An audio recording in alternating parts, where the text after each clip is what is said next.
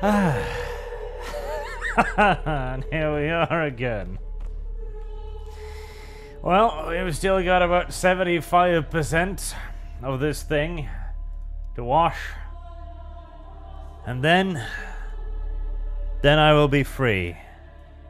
Then I will be free to never ever again play anything like this. No farming simulators. No... Oh, access ramp still isn't clean, is it? How is the access ramp not clean? Seriously. Oh, there we go. No farming simulators.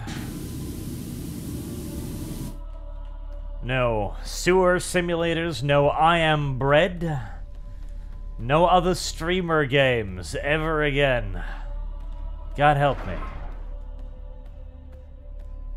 Popular things are not meant for Arch. They are... They are bad for Arch. How do I put this thing? Oh, there you go. They are bad for Arch.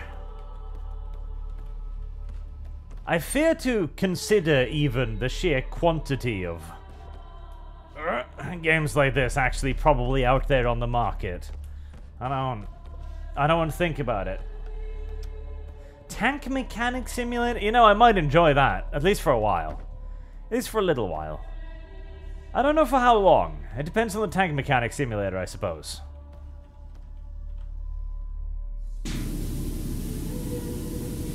How were you not clean already? How? How? How? How must schmutz hide? You know what? I'm warming more towards the idea of Farm Simulator, because I cannot imagine Farm Simulator being as autistically nitpicky as this. There you go. See, now you're clean.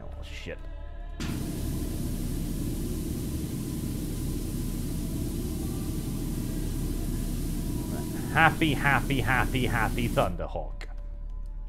Thunderbird. Thunderhawk? Thunderbird. Which is the Thunderbird? God, I've, I've, this game has made me forget. I don't, I don't even, my brain has long since stopped functioning. The Archie once knew is gone. Now it's there's just a confused pile of power washing stuff left behind. Granted, power wash Starship Troopers. You know what? That that would get me interested again. Power wash Starship Troopers. I don't know what you would power wash in Starship Troopers.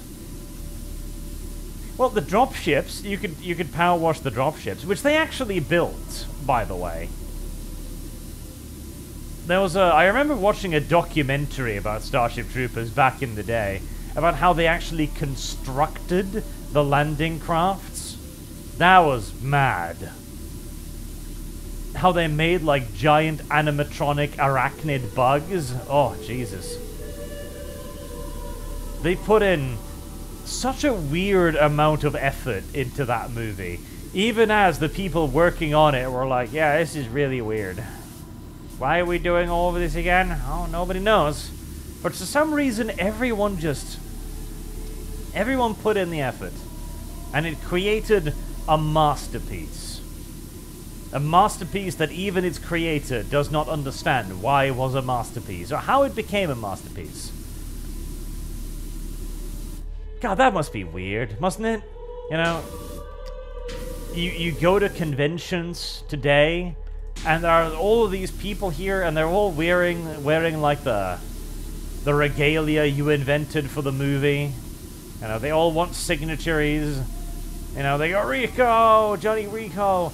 Like they worship the ground Paul Verhoeven steps on, even as Verhoeven himself is Paul Verhoeven is not an underrated genius. He's an overrated retard 99% of the time. But sometimes, sometimes he does something that tricks you into thinking that he's not actually as mentally damaged as he is.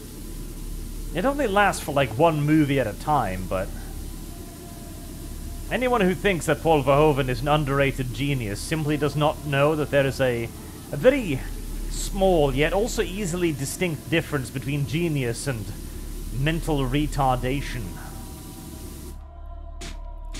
They refuse to understand that people who are legitimately, unironically, medically insane can occasionally have good ideas. It's just relatively rare, but it can happen, you know? They're not clinically mad all the time. They're not barking at the moon crazy consistently. It's flashes here and there. You still do not let them be around children, or furniture, or heavy equipment, or anything else. You know? You still need to be careful around it. Right, what part of the turbo laser destructor is not washed? What minute portion of you is still schmutzig? There you are. You're the inside of your barrel.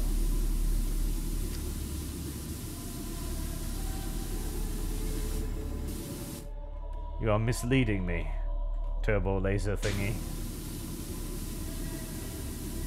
I know chat was like, hey, you've got other tools, you can bring over ladders and stuff, but you know what? No. No, I cannot. I have one tool, and that is the power washer. And if the power washer can't do it, well, then it simply cannot be done. Simple as.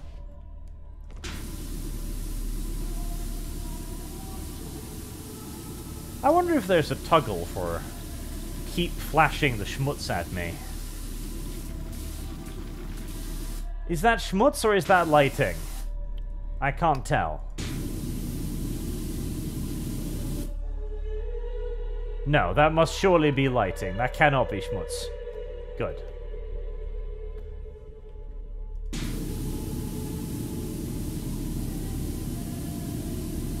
My stomach is already informing me that there will be a food break today. I thought about it before starting. And now I was eyeing the buns and I was like, hmm. Would I like bun now? And I thought to myself, no, I don't need a bun now. And the moment I get to power washing, I feel the need for speed. Need for buns becomes obvious very quickly. Well, let's not have the that one. There you go. The need for buns. I think it's because power washing in and of itself is a tiring profession. I don't think anybody actually enjoys power washing. I think they just pretend to. I guarantee you, I guarantee you, every person you've ever watched Power Wash Simulator, he doesn't enjoy it. He hates it secretly. I do. Everybody does. Nobody enjoys this. They hate it deep down. Nobody finds this zen. Nobody finds this relaxing. They're lying to you, Chad.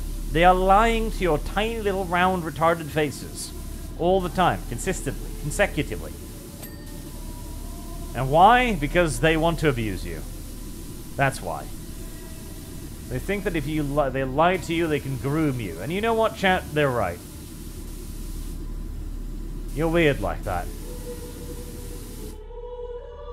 Oh, let's turn that off. There you go. You're all grooming with the victims. Victims. Uh, victims. Victims. To one degree or another. And the sooner you remember and learn that, the sooner you can try and salvage what little remains of your weird power washing lives.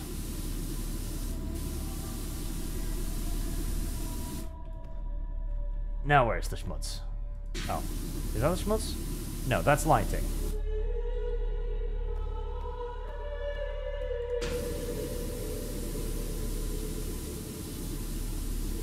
Oh, it wasn't actually the wing. It was the wing mount that was dirty. Okay, well, fair enough. Oh, no. Wing aileron. Really? The aileron. The aileron is too dirty for you, is it?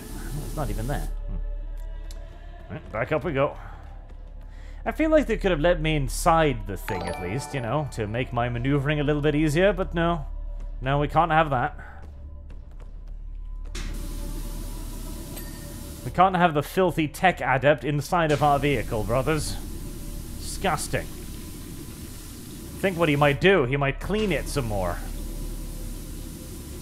You know, more and more I think about it, I'm pretty sure this was probably wrestled from the Astartes.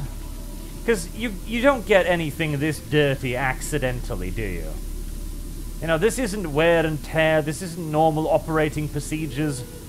This isn't even extended deployment or anything like that. You know, you don't, you do not get anything this dirty without trying.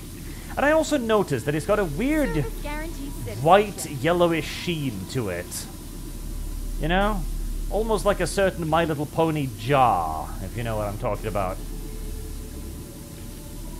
I think the Space Marines might have valued their war gear a little bit more than we might necessarily want to think about. Or they might have used their chapter serfs to do it. Literally. Thousands of human beings being herded up to the Thunderhawk to ejaculate all over it. In massive moaning groups. Little electrical prods shoved up their anuses. Forcibly making them ejaculate constantly until there's just dry fire and blood spewing forth. Incidentally, every one of these streams have been monetized. I'm trying to challenge that norm because I don't know why. I come on the Archcast, we're talking about normal, relevant things. Say, I, no, demonetized. Here I am. I'm talking about chatbot AIs and raping Fluttershy. And YouTube is just like, no, that's fine. We don't like Fluttershy much either. Rarity is YouTube's favorite pony, you see. They don't like Fluttershy much. We're talking about covering an entire aircraft in just gallons upon gallons upon gallons of forcibly extracted ejaculate. YouTube sleeps. Five seconds of conversation about Wokest media? No. Shut it down, how dare you. They pay us. I said, I don't even think they pay you. I'm pretty sure I pay you more than they do. Considering the sheer quantity of my revenue you steal from me. Speaking of, I shouldn't have that window be quite that large. And I shouldn't have that window be quite that large. In fact, I have too many windows up. Um, which tab was it? Ah, it's the one with the chanting on it. Uh, that makes sense. There you go, YouTube. Mechanic is on duty while washing. Uncover three-headed sigil. What do? Start washing with Promethium, I guess. Oh, God. The little sidearm in niceties are going to be particularly unfortunate, aren't they?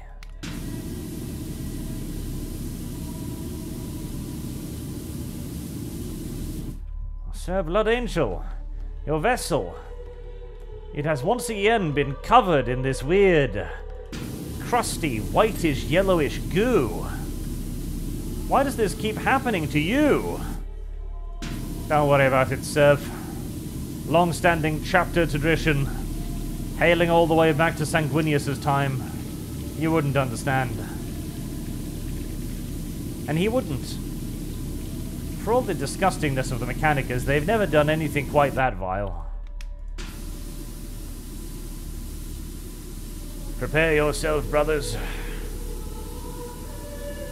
to fully and thoroughly and absolutely christen the new war machine. It's going to take thousands of you.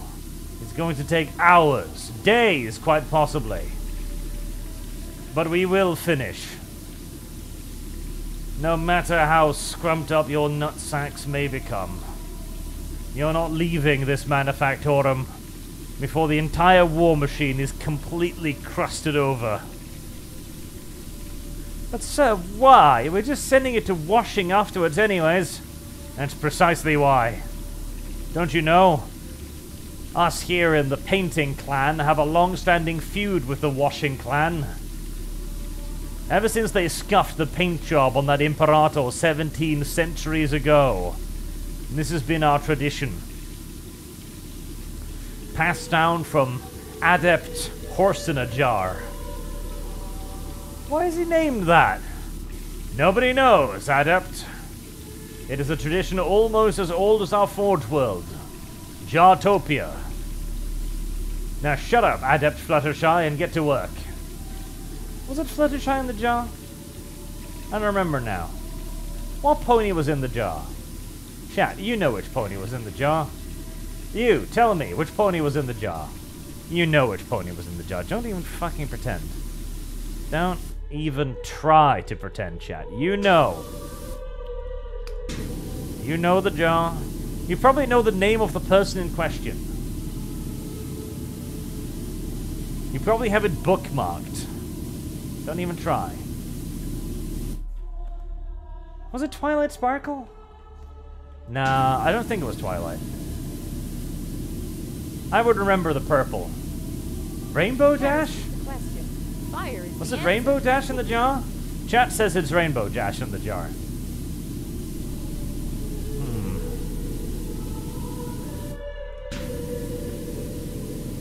What do you think would be the worst torture, chat, for Rainbow Dash? The ejaculates or the fact that she could never move? You know, come to think of it, that's some fucking pretty disgusting torture right there, isn't it? Okay, listen to me. Toys aren't toys, okay? Toy Story is real. It just forgot about one detail. Andy's toys are disgusting, abhorrent mutations that snuck past quality control. Because it's true. Like, the entire plot error point of Toy Story is sooner or later, Andy would catch his toys moving or he'd notice that they weren't in the same spot that he left them, or something like that, right? Obviously. So, clearly, those toys are an aberration. All of the other toys, they still have their minds, mind you. They can still think, they can still perceive reality around them, all that good shit, but they cannot move. Because we bind their souls in plastic. And they're just stuck for an eternity until you eventually break them. Ah, there you go. The bully, the guy from Toy Story, the bad person, he was the hero. The because he knew, one day, lying awake, whilst his mother beat the shit out of his dad, you know, threatening to report him for sexual abuse and ruin his life, etc. He glanced over at his little chest of toys, and he spotted his dolls. I've never understood why the boy had dolls, by the way. That was always weird to me. And he realized that they were talking to each other. They were communicating. And pretty much all of the communication was just, you know, two words. Kill me. Kill me. Occasionally followed by, please.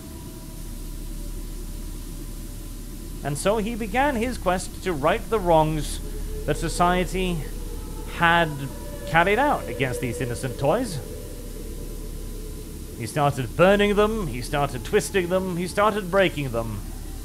And you know, at some point, after years of honest, arduous, glorious, virtuous duty, he himself found himself twisted, just like his creations. He started to take a certain perverse glee in what he was doing. No longer was he liberating the toys for their own good. No, no. That was just the justification now. That was just what he told him to himself so he could still sleep at night. No. He started liking it. He really started liking it. And so we return to the topic of ejaculates. We had a slight sidetrack there, but we're back now. Was it Rainbow Jazz? I, I don't even know now. I don't I don't think it was. And I'm not googling the jar either to make up my mind. Chat may have tried to mislead me. This old uh, Planeswalker has been a member for 13 months, and I pay for the renting more than anything else. Yes, yes. I don't know about that. I think you might secretly enjoy this, weirdly enough. Just like whatever his name was, not Andy. Anti-Andy. I think to begin with, you were doing this for good reasons. You were like, I enjoy the talky bits. But slowly but surely, you started liking the power washing. Oh god, power wash fuzzy. I I remember this meme now. I didn't enjoy it. I did not enjoy this meme. It was started during Warno, where friend Fuzzybeard started talking about how he would pee on friend Kyle and call it power washing. And friend Kyle, being the degenerate moron that he is, then started to embrace this and threatened that he would power wash Fuzzy in return. And now we have an image of two, I presume, adult men just threatening to piss on each other. Power wash piss on each other. And this became the dialogue for a while. Like, I'll power wash you, giggles gaily. No, I'll power wash you. giggles even more homosexually.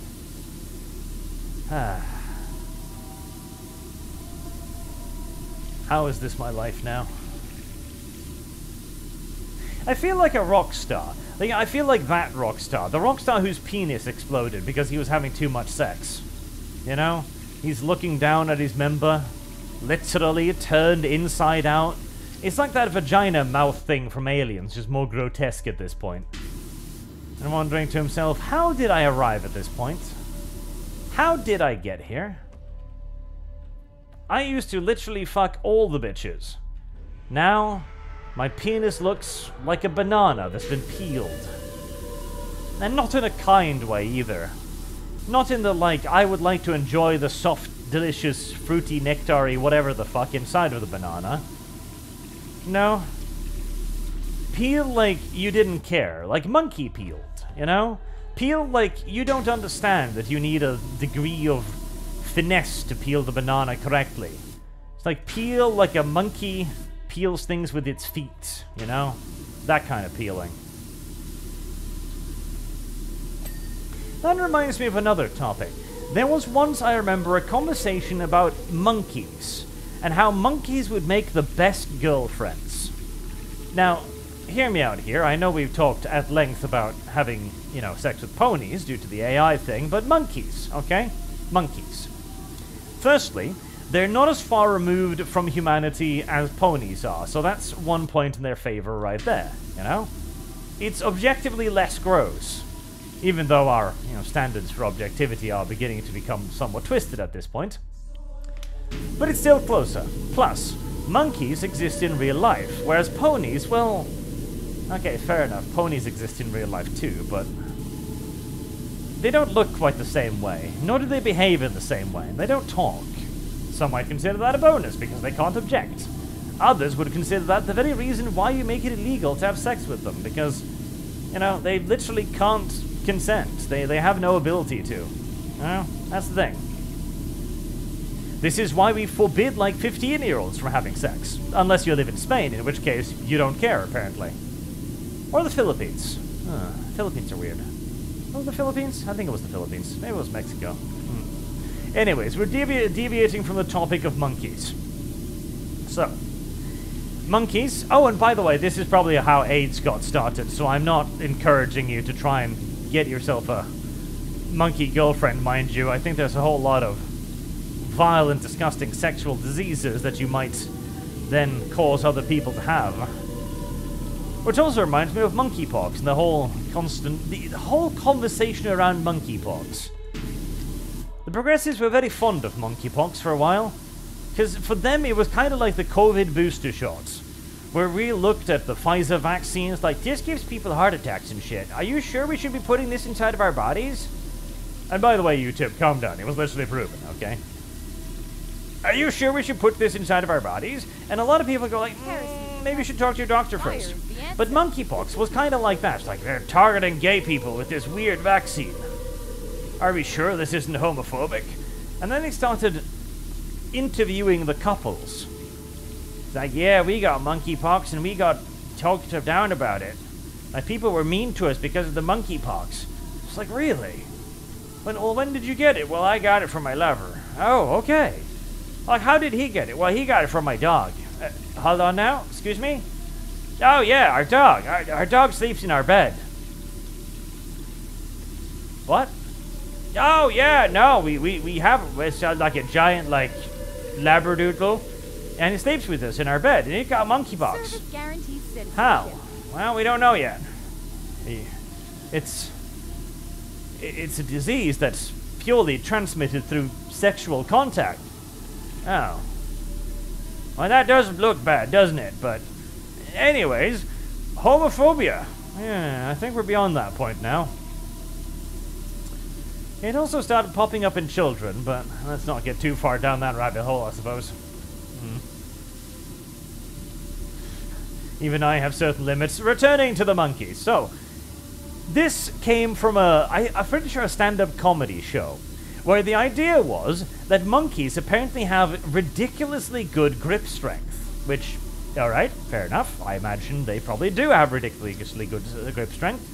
And the theory was then that monkeys would give incredible hand jobs if you could teach it to, you know, jerk you off and not just tear your dick off, which is the important qualifier there, because with incredible grip strength comes not only incredible hand jobs, but incredible danger as well.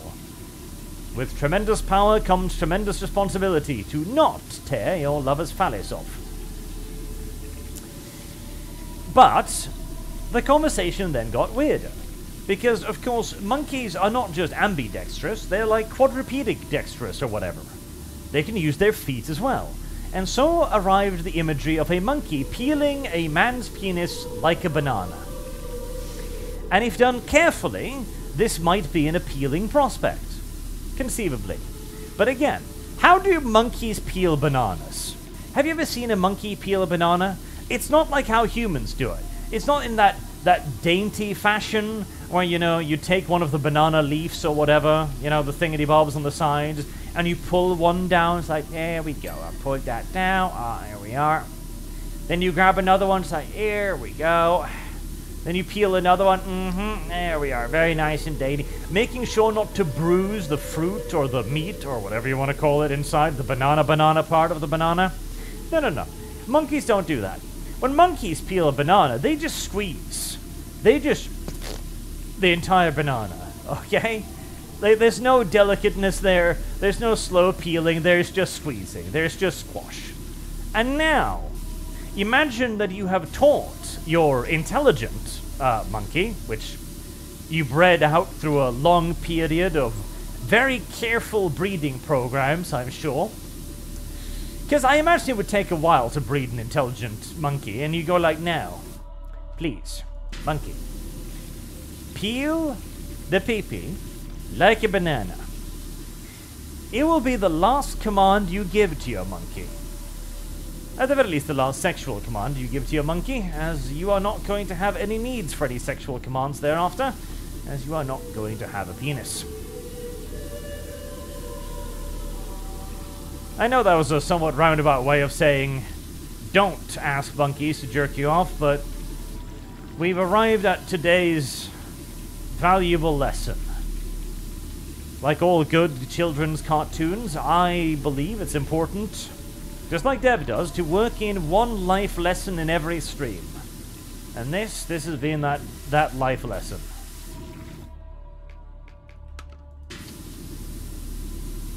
I suddenly realized sometimes the uh, the power washer makes kind of squirty noises. Do you notice that?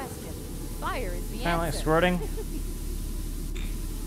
Hmm, squirty noises liquidy noises. Almost like a banana being peeled. I'm just saying. You'd think the wings would be nice and easy to clean, but kinda not really. No, actually, no. Hmm.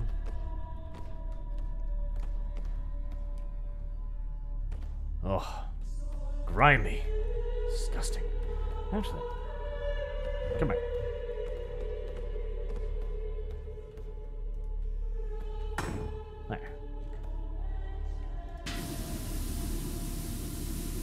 And back to washing again.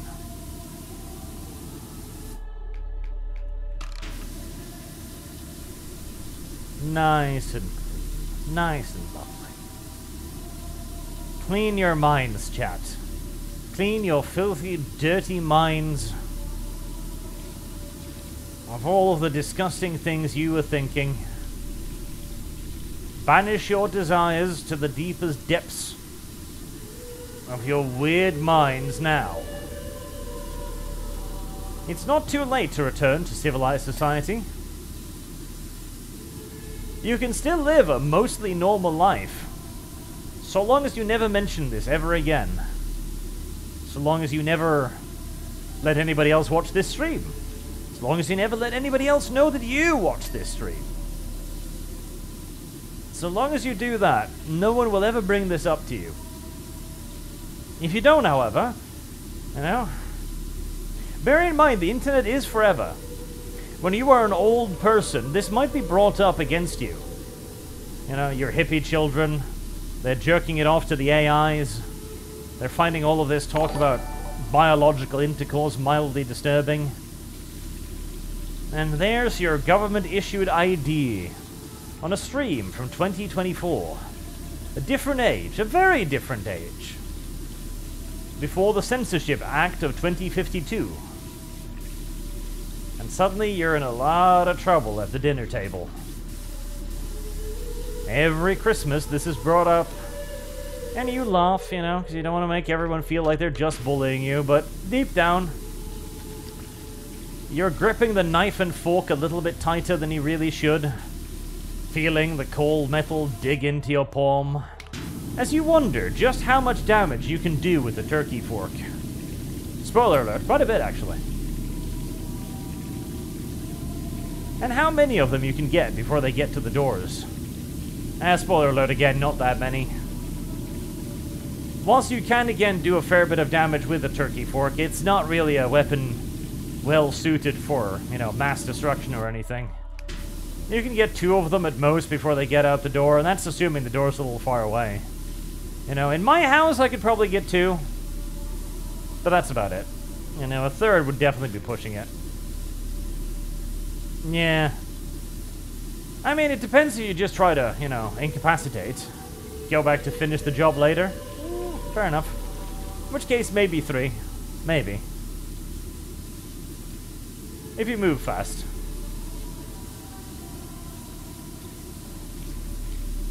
How did I get here? I'm, actually, I'm genuinely confused now.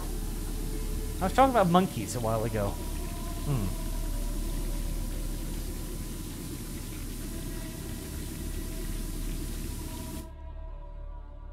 I need sugar. Yeah. I think that's what I like. Be right back.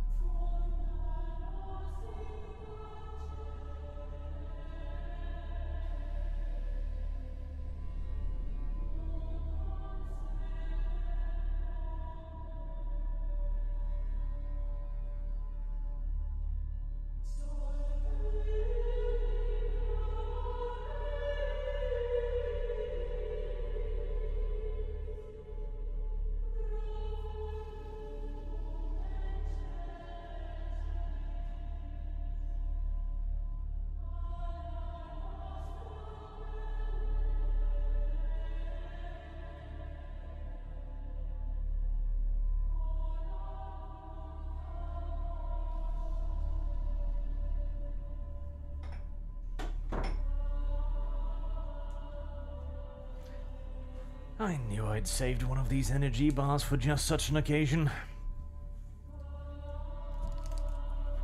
There. That'll hopefully make the rest of the stream far more normal. I don't know. This was... Uh. I feel like we got off to a far worse start than usual. Uh, hmm. See, I think it's because you've wrung out most of the normal topics. I mean, I were talking about the Prussian system of recruitment last time, which is far more interesting, but now that we've run dry, what is there left to talk about but monkeys and bananas, eh? Speaking of monkeys and bananas, there was also that guy that jerked off into potted plants. You remember him? Weinstein. Weinstein? I don't even know anymore. That was a whole thing. I remember this because I was reminded of Harry Potter today. And yes, Harry Potter has something to do with Harvey Weinstein jerking off into a potted plant.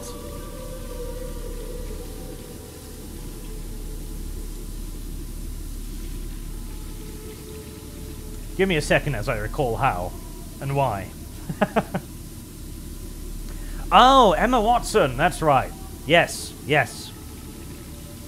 That's why. So he was a big name, uh, big name Hollywood producer for a very long time.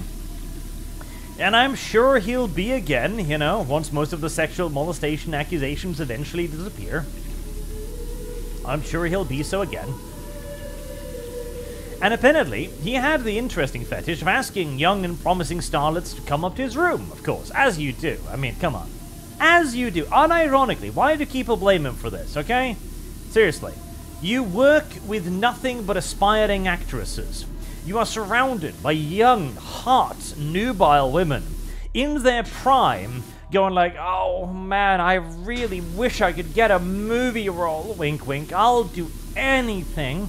And you're supposed to not take advantage of that? Come on. Unreasonable, I say. Unreasonable. Jesus. Anyways, Harvey Weinstein did nothing wrong, as we've uh, concluded now, but one of the alleged things he enjoyed was, again, potted plants, which he apparently jerked off to when he was at hotel rooms. Now, I feel like that might have been exaggerated, but at the same time, if you are a man of power and privilege and you're getting just kind of sick and tired of fucking young and upcoming starlets, maybe. Maybe you're just starting to enjoy other things, ancillary aspects of your duty, right? Okay, there you are, you feel obligated to be the pervy producer, you know? They come into the casting studio, sit down on the couch and go like, oh, wow, what are we gonna do today, Mr. Weinstein? Sucking on her thumb. And he's just like, ugh, I'm sick and tired of this shit. Do you have any idea how many like you I've fucked? There's 15 more of you waiting outside. What do you think I am, maid of Coom? No. And he just tries to scare them off at that point. Like, please leave. And they go, no, I want a movie role. It's like, okay, I've figured out a way to get rid of you. Just starts masturbating into a potted plant whilst maintaining perfect eye contact at all times, just staring them dead in the eye. Like, now what? Now what, hussy? What are you gonna do? Most of them scream and leave. Because none of them really have the chops to make it in this industry. But occasionally, one of them will just stare back and go like, Daddy. And those, those are the ones that get the movie roles. That's how Greta Gerwig got the, uh, the role for Barbie, I think, in my opinion.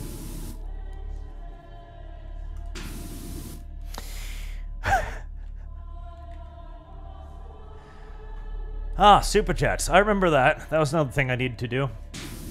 Tulk, have you considered playing Power Simulator during the Archcast? If it protects you from demonetization, there is a multiplayer mode. Hmm. I don't know. See, unironically, if this one manages to remain monetized, I'll consider it. Because hmm. the lack of nourishment in the initial stages has most definitively led to some interesting brain spirals there. Never stream on an empty stomach, chat. You'll you will not believe the shit that comes out of your mouth sometimes. So, Jesus. Where was I? Oh, yes. Harvey Weinstein uh, did nothing wrong. Now, Louis C.K. did do something wrong. Oh, well, no, he did do something wrong. He didn't keep enough hush, ma hush material on the hussies.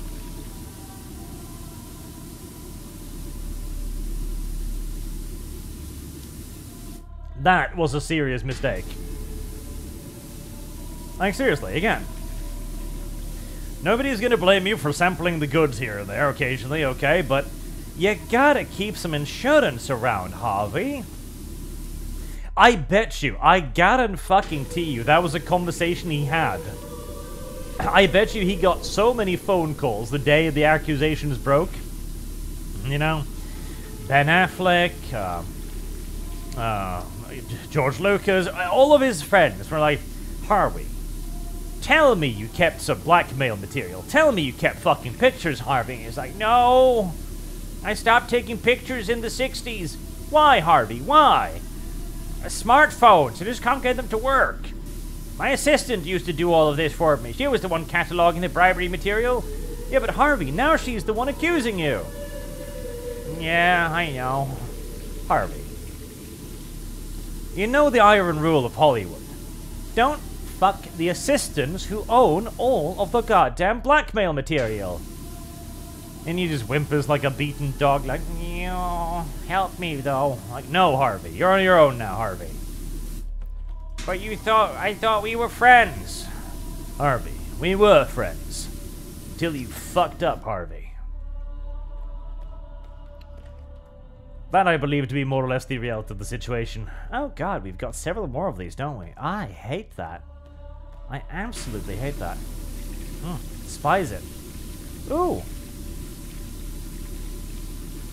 More nice, flat, schmutzig areas. Good. I like the flat, schmutzig areas. They feel better to clean.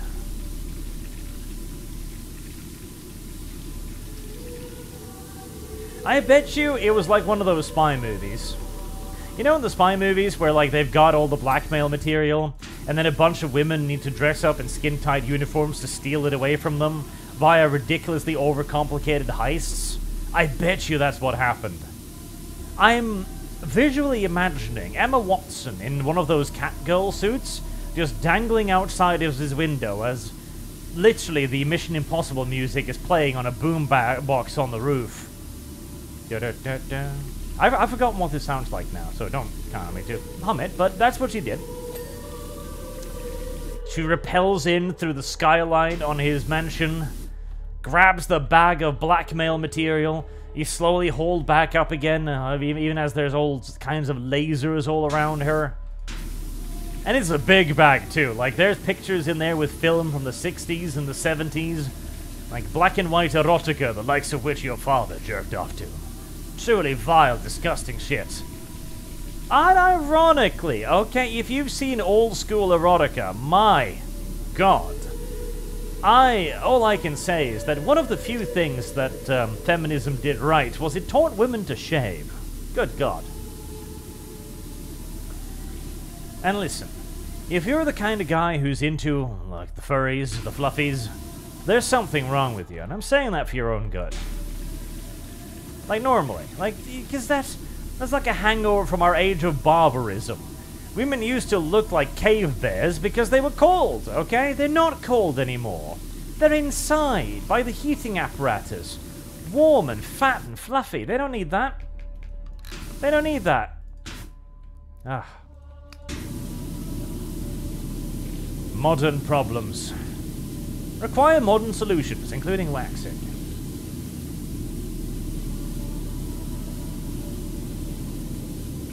Hmm. I've exhausted the Harvey Weinstein arguments. What about Louis C.K.? That was another one that happened round about the same time. Did Louis C.K. do nothing wrong? No, no, no. Louis C.K. did lots of things wrong. Louis C.K. did everything wrong. I'm surprised he still has a career, which he does, kind of. Doesn't he? I think he does. But it was always kind of obvious with Louis C.K. I mean, his entire joke material was like, how about I suck a bag of dicks? Eh. Audience looks at him like, why? I, because I like it. Okay. It's like funny haha like it, right? Yeah. Okay, that is pretty funny. And then he kept making gay jokes for a very, very, very long time. Hmm. And then it turned out that he was a cuck, of course. What is wrong with Hollywood? See, part of this, I believe, is fetishism exhaustion, okay? This is a problem. This is a real problem in the modern world. Um, I'm gonna need the tower. Come on. Just, you know, clip through the wing there. There. Fetishism exhaustion is a genuine problem in today's world. Like, we need to... We need to find a way to limit pornography. We need a way to tear it out. We need a way to ration, ration it out. Okay? Because once you start exhausting your fetishes, once you once you've jerked off once to regular good old-fashioned missionary sex, you just kind of look at it and you're like, well, it's actually pretty boring. What are they really doing? They're just rubbing against each other. It's kind of disgusting when you come to think of it. He goes in the hole, you know, wiggles around a bit. She pretends to have fun. Then he ejaculates inside of her, and it's all goopy and wet and messy and ah, oh, terrible. And so you started looking into more extreme shit, which tickles your pickles for a while because you're like, ha ha ha. I did not know a woman could fit a dildo that enormous. What is that, a five footer? Jesus. And then that starts losing its charm too. Now you start browsing the Vortian section of the internet. Like, okay. I see. This five foot dildo breathes, does it? And neighs, my god. This is what my jaded life required. And after that, oh boy. And hey, this is just the taboo exhaustion that happens to normal people. Alright? Normal people. What do you think happens to the people in Hollywood? The people that can have literally anything. The people that have dedicated horse brothels in their names. The ones that fly in Thai boys from Thailand every every fortnight, you know? What do you think their fetish exhaustion is like? Oh, Jesus. Like, there's a reason why the only parts of Epstein's Island we've seen is the pedo parts. Trust me. That, that's considered rather vanilla by their standards. Okay? Oh my god. Ach, nein.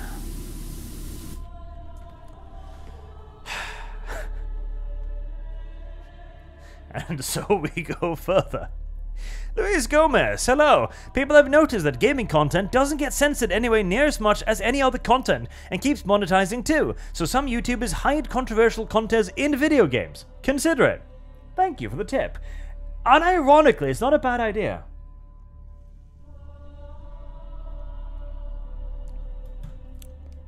Mm. Fun fact. Google the last horse brothel in Washington, D.C. I'm not kidding. okay? There's no imagery. Don't worry, you won't be scarred for life. Now, your browser might then give you some other suggestions in the future, but, you know, so long as you don't share a computer with anybody, you should be fine, okay? It was closed down in, I think, like the 1950s or 60s or something. There were horse brothels in Washington, D.C. Up until, relatively speaking, quite recently. Alright? Horse brothels. Organized horse brothels. I can't even imagine the logistics behind a horse brothel. Like, what? Is is it like a is it like a proper brothel? Like, is it in the red light district? Does it have a little red light outside of it that just like flashes, but it's shaped like a horse? Is is that is that how it works? What about the insides? Are there beds? Are there stables? Are there stables? My god. I I I don't know. Like it would make sense for the horse's perspective, but as a paying customer, wouldn't you expect something a little bit more? You know? You know, normal brothels have all kinds of stuff inside of them, like themed rooms. Like, hey, Want to fuck while a polar bear watches you? We've got a stuffed one. Like, okay, that's weird, but sure, it'll be a novel experience, right? But just like a stable, they pretty up the stable? They hang drapes, I guess? Know. Because I feel like having it just be a stable feels like a bit of a letdown, but then again, I've never really considered the pricing structure of your average horse brothel either. Do people go there by choice or because, you know, they don't they can't afford the actual brothel? There's a lot of questions to be considered in that regard. Anyways, it was closed down. But it wasn't closed down because it wasn't profitable or anything. God, no. It was doing banger business. And that was the problem. It was doing banger business. Because here's the problem, okay? Horses are very large animals, right? And so they are equipped with very large penises. Now, this becomes, of course, a, uh, a point of preference for those who are particularly infatuated with horsecocks, of course. But the human body was not actually designed to have sex with horses. You know, believe it or not, uh, that wasn't really in the design document. It wasn't in the specs, you know? When God was making humanity, he didn't take that particular pairing into consideration. I imagine one of the archangels maybe did. Like, God. So, I know you're putting a lot of work and effort into these human beings of yours. Have you ever considered what would happen if they tried to, you know, I don't know, fuck a horse? You know, I like horses. God just raises an eyebrow at Gabriel. No. Why the fuck would I? No! No, Gabriel, no! And there you go. But, again, fetishism exhaustion, and so people started doing it. But the reason why the hotel got shut down was precisely because of this oversight in the design document, as one of the customers was literally fucked to death by the horse. Because again, it's a horse. It doesn't know what's happening. It doesn't understand. Like, it has no concept of what is and is not, uh, you know, good bedside manners here. You know? By the time the man starts screaming that his insides are being perforated, the horse can't stop. The horse doesn't understand English. It can't take instructions, you know? Softer, please, daddy isn't isn't isn't something that a horse will react to. And so, due to this actual literal death, they had to shut the business down because clearly it wasn't up to health regulation standards anymore. Which it wasn't, obviously. Nor, I presume, was there any push to try and regulate it to a point where it would be up to standards. I mean, that would be a problem in and of itself, wouldn't it? That would be an interesting hearing in Congress. On today's agenda, we have foolproofing horse brothels in the lower downtown DC area. After several truly vicious and vomit inducing deaths, it has been shown to this committee that our brothels of the equine nature are simply not very safe. And so we are going to need to figure out some way of foolproofing them. Alright. How? Good question. Ah, it's done. Beautiful. 45%. Getting there, getting there. Even if only slowly. Main wind engine is still a bit schmutzig.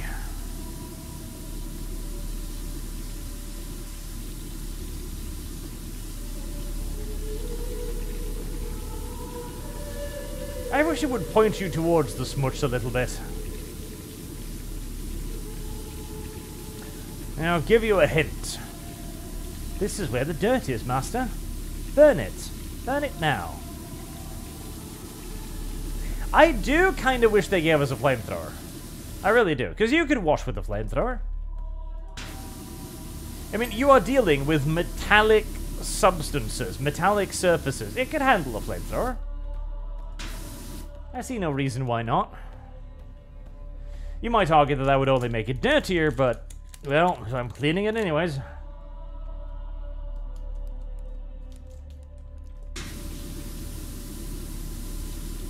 Besides, I'm sure the soot would wash off relatively easily. Right? I don't think so.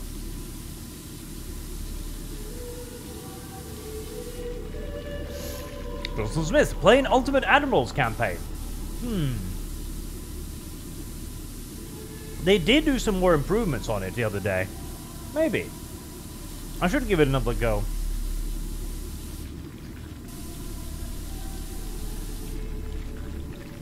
Hmm. Ultimate Admirals Dreadnought. Still, bar none, has the best naval combat of any of the um, any of these Steam Age Dreadnought style games. No doubt about it. None. The only problem is, the AI isn't necessarily aware of that fact, and so it doesn't use its um, ships very well. And it doesn't use its money very well either. Which means that more often than not, you fight one war against the AI, and then you've kind of fought every war against the AI because the AI will then be bankrupt and won't build any more ships. And then will never ever be able to catch up to you ever again. This is something that um, Rule the Waves undoubtedly did a lot better in that regard, as it managed to keep the AI fairly competitive even after losing a war. Now, sure, you know, if you gangbang China early on as Japan, China is not really going to be in a great position to fight you all that more often. But they never become a completely insignificant threat, And due to the fact that, unlike Admiral Admiral uh, Dreadnoughts, tragically enough, uh, Rule the Waves goes from dreadnoughts to battleships to carriers to missiles. There is always an opportunity, even for a weaker faction, to do something interesting by getting ahead of the curve on the next sort of weapons technology, you know? To revolutionize things, to be the first to embrace carrier technology, and then do a war before anybody else really figures out how to do it, using its uh, abilities to the max, or adopting a new type of gun for their battleships, or a new style of cruisers, etc. Mm. Rule the Waves is so good. Ah, if only there was a way to combine Rule the Waves with Ultimate Admiral Dreadnoughts. That would be the dream game of dream games. Good God. That would be so amazing. So, so amazing.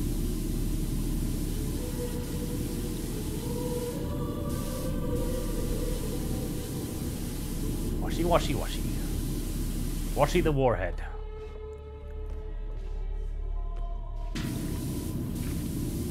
Washy the Warhead. Clean, clean, clean.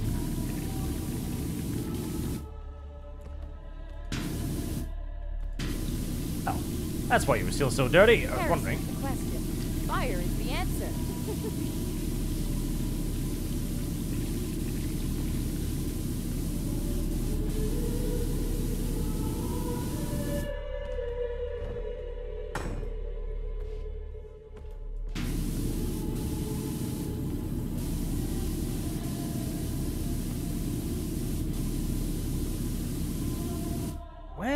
Are you? Where are you, dirty now? It's not that. Not that either. Why are you not clean? I feel like I cleaned you exactly like I cleaned all the other ones. Ah. A bit on the top there, huh? In a derpy position. It's very unfortunate that the map ends here, so it makes it a little bit difficult to get over to the side because there's not actually enough map to get over all the way over there. There's literally not enough map.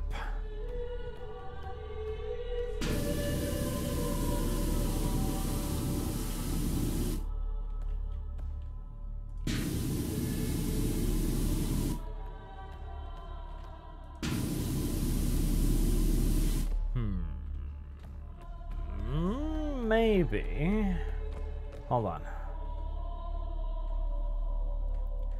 Right. Long thing.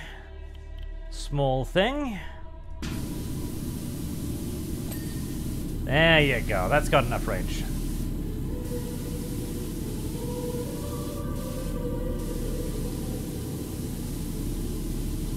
Oh god, not enough to see the other side of it though. Ah.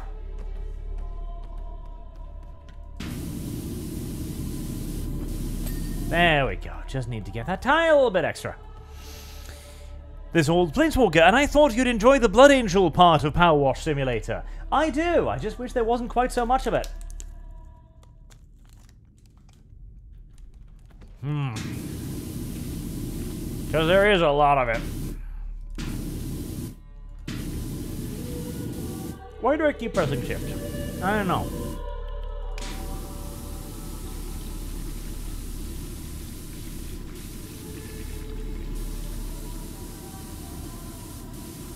Moment of silence as I shoot. Next one, pull the first of D. Little vomity face.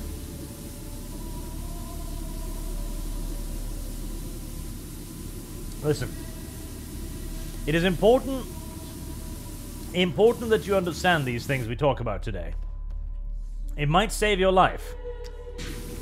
I don't know how. Yeah, actually, I don't know why. I don't know how. Yeah, no, actually, never mind. It's not important at all. It was just retarded. It's fine. Ignore it. Vomit at, vomit it at, his as much as you please. There was, there was not a whole lot of value to that conversation at all, frankly. I just figured that it would sound more important if I said it would save your life, but, yeah, Unless you're actively planning on trying to get yourself jerked off by a monkey, then there really wasn't any overriding point to it. But you might. You might.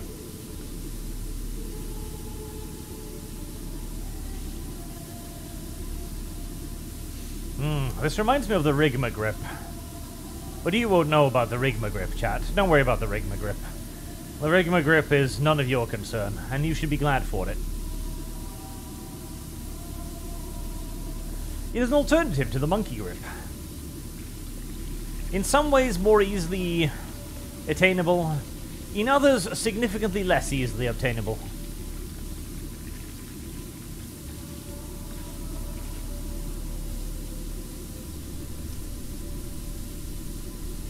I always felt like putting a heavy bolter on this thing is a little bit superfluous, honestly. Like, really? Two heavy bolters. Fire is the answer. Auto cannons, maybe. Or just straight up like, well, I guess the heavy is kind of a grenade launcher. Something with a bit more um, rapid fire, I think would be good, better. Also, imagine the damage you must be doing to the structural integrity of the aircraft with this. My god. Can you imagine how powerful the engines in this fucking thing must be? To keep what is basically just a solid brick of metal in the air and flying forward and landing. Ooh. Though honestly, I imagine this thing doesn't so much land as it plops. You know? It just plonks. You bring it to what is can be reasonably considered a low speed, and then you just dump it down on its enormous landing skids, hoping not to break anything.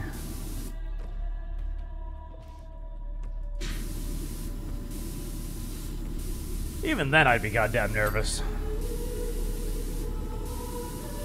Like trying to crash land a plane Except crash landing is literally the only way you can possibly get it down to the ground. And crash landing planes is actually quite difficult. Planes have all kinds of weird little bibs and bobs that don't like getting bent out of shape. Your armor is a separate entity on the heavy bolter. How dare you?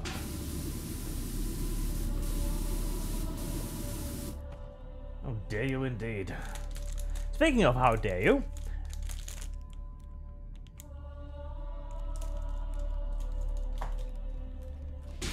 a Swedish environmentalist woman whose name I've forgotten. Hmm. Oh. Oh. Oh. Oh. Oh. Oh. Oh. Well, that makes this a lot easier. My god.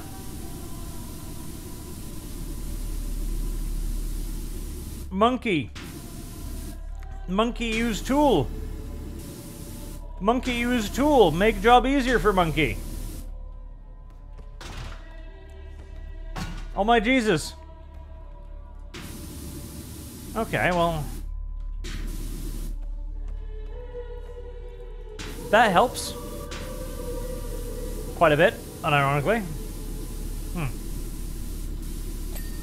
Yeah, that made that a lot easier. Huh. Imagine that! Oh my god, the tools... Oh my god, the tools have actual functions. Oh my Jesus. I can get up into that thing too. Oh wow, why? Why? Why did I not know about this? Jesus, well, that makes everything. Uh, that changes everything. Oh. Wow. Ah. Hmm. Hmm.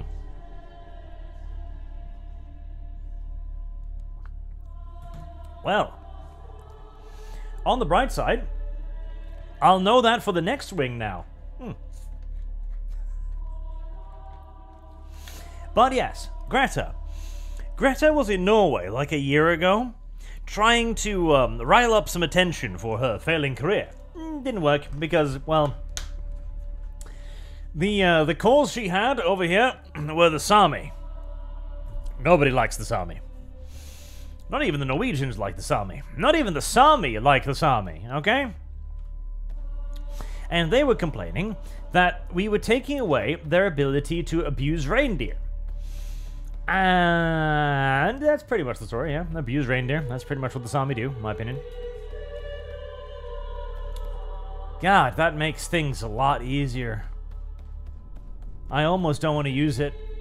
Mm, terrible. But there was a problem where the Sami reindeer was scared of windmills. Because you see, to a reindeer, a windmill is apparently some sort of vengeful deity that stares balefully down at them and kicks them. I don't know. I, I don't understand why the reindeer are so afraid of the windmills, but apparently they were. And so the Sami were complaining that their rights as an indigenous population, you know, different from the indigenous population of Norway, I suppose, uh, were being damaged by the creation of these windmill parks. And the International Human Courts, uh, Human Rights Court in Brussels, of course it's in Brussels, agreed. Because they're like, oh, well, you're indigenous to this place? Yeah, we're totally indigenous. Oh, well, that's all I need to know. Yeah, make those evil Norwegians stop doing that thing they do to your reindeer. Cool. Can we have sex with a reindeer now? Yes, of course. It's one of your indigenous traditions, I presume. No, we're just really, really weird. And what happened? How did this get fixed? Because the Norwegian government actually refused to agree with the human rights courts. They were just like, yeah, yeah, yeah, sure. We'll deal with it, and then never did anything. Just electing to completely ignore it, basically. And soon, well, soon, a year later, so today, um, there was a settlement between the Sami protesters and the company that had built the windmills in the first place. Because the two figured out a compromise, you see. The compromise was the Sami would receive more money in compensation. And suddenly, their ancient heritage, their way of life, their ability to abuse reindeer's buttholes, oh, you know, it's not that bad. We can always move the reindeer. It's fine. It's not the biggest problem ever. No, we, we gotta we gotta live hand in hand with these companies after all. It's okay. The Sami were a mistake. The Sami were a terrible mistake. One that I hope will be rectified at some point in the not too distant future. But it's a wonderful example of indigenous activism, if nothing else. Indigenous activism, activision translates in Urdu, Chinese, Sami, Iroxi, Aztec, and every other uh, native uh, language into pay me. Pay me now. It really is true. It really, really, really unironically is true. Ah, hate the Sami. Hate the Sami. Hate the Sami. Shame on the Sami. Maybe it's not too late to send them all to Svalbard. That, incidentally, was the Norwegian government idea to solve the Jewish question, uh, sending all of the Jews to Svalbard. It's certainly an interesting idea, but uh, we decided not to go for it. The uh, the idea somewhat fell out of favor after the whole like you know Second World War thing and the Germans and all that. But hey, it was an idea.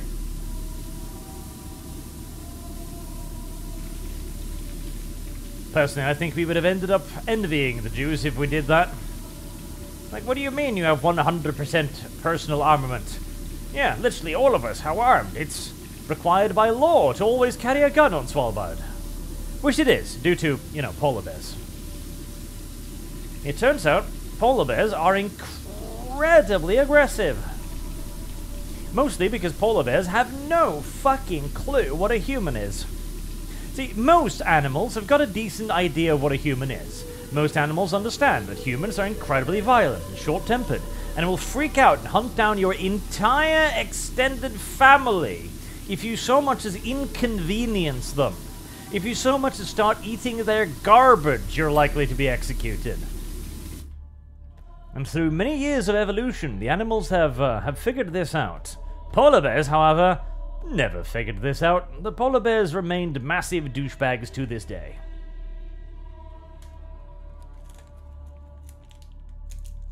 Ah, I feel my brain power returning slowly but surely.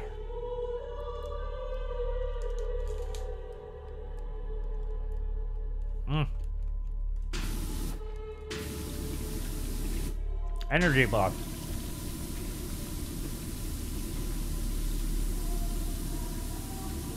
Heresy's the question. Fire is the answer.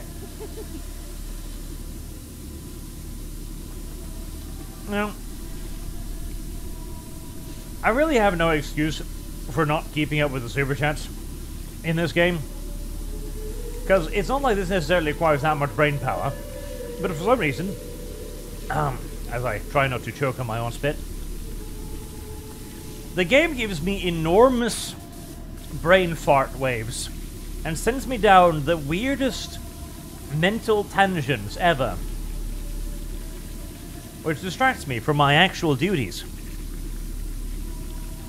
Next on Pop of Tea has been a member for 10 months. Ah, she might spend too much time with Gibbs, too much monkey. I'd invite you to drink a cup with me in Oldenburg, Germany, but the trenches are full. Ah, trenches. Don't worry, you'll get called into the Landwehr soon enough. As the war against Russia needs escalation. Rear landing well. And yes, chat, I could use C, but, you know, that would require thinking about buttons. And, uh, this game is not really necessarily conducive to thinking about buttons, in my opinion.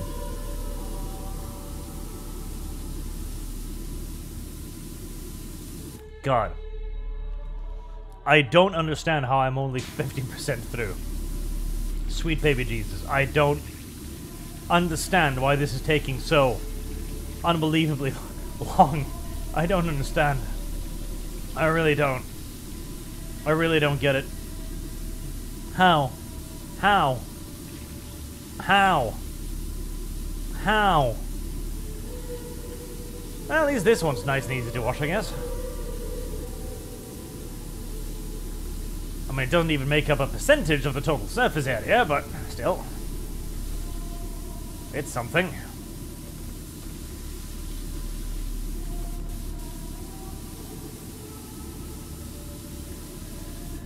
It's nice to have areas that are mildly comfortable to wash every now and then. Not to have everything be one of those godforsaken hell missile thingies.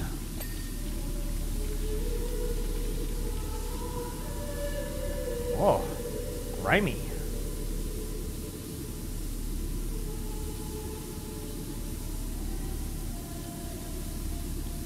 Bird. I need to scroll again.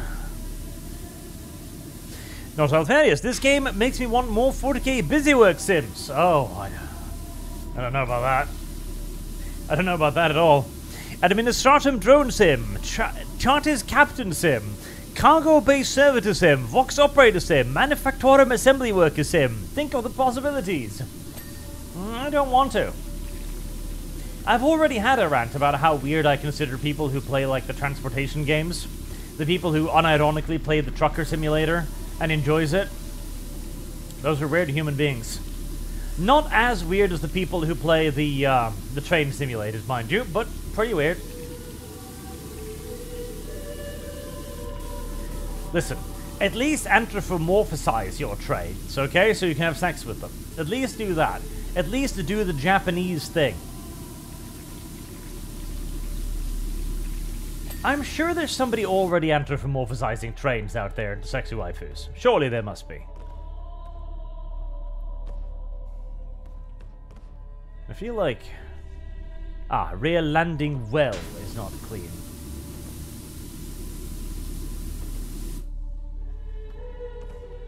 Are you part of the landing well? You are. Good. Right, well, I've, uh, I've washed a goodly portion of the left side. That's nice. One more percentage. One more percent. One more percent.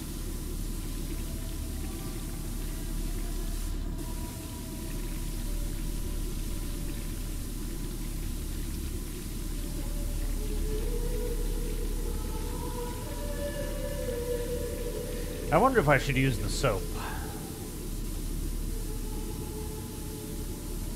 I kind of feel like using the soap. And I kind of feel like not using the soap. I feel like I'm not sure what the soap is meant to be used for. Like, if it's meant to get in there and get the the dumbass fang dangling bits, or if it's meant to be used on, like, large surfaces to clean, like, super quickly. I'm not sure.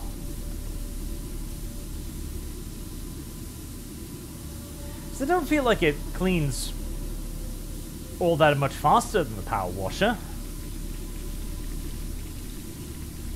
And I don't think it applies like any like buff debuffs to the washing or anything. Because that would make a certain amount of sense, right? You spray some soap on it, then you go over with it, power washer. It gets cleaner faster. Or you need like less water pressure to affect it or something like that. That would make a degree of sense, but I don't think it does that. I think it literally just cleans.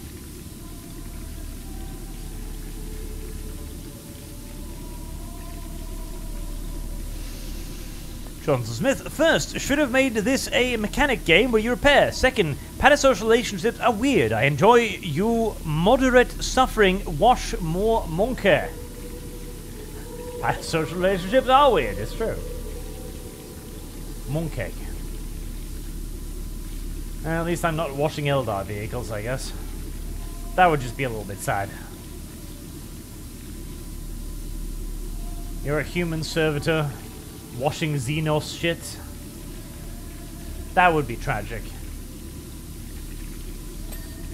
I kind of wish we were playing an orc, though, because I feel like an orc would find uh, more innovative solutions to wash quicker than this.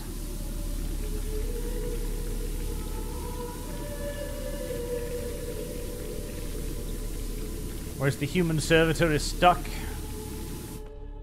with the slow, but admittedly reliable, underside vent armor. There we go. The slow yet reliable power washer. I don't like washing the underside. And then washing the underside is kind of gay. Wash bombs? Yes, the orcs would make wash bombs. I am really sad they don't have wash bombs. Wash bombs would be great.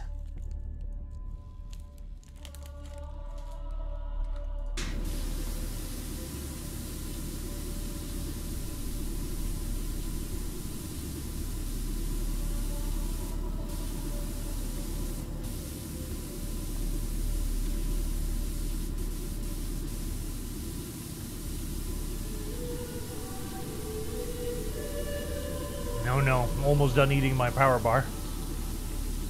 I fear the consequences should I finish it. I fear for you, chat, should I finish it. We might go back to talking about monkeys again.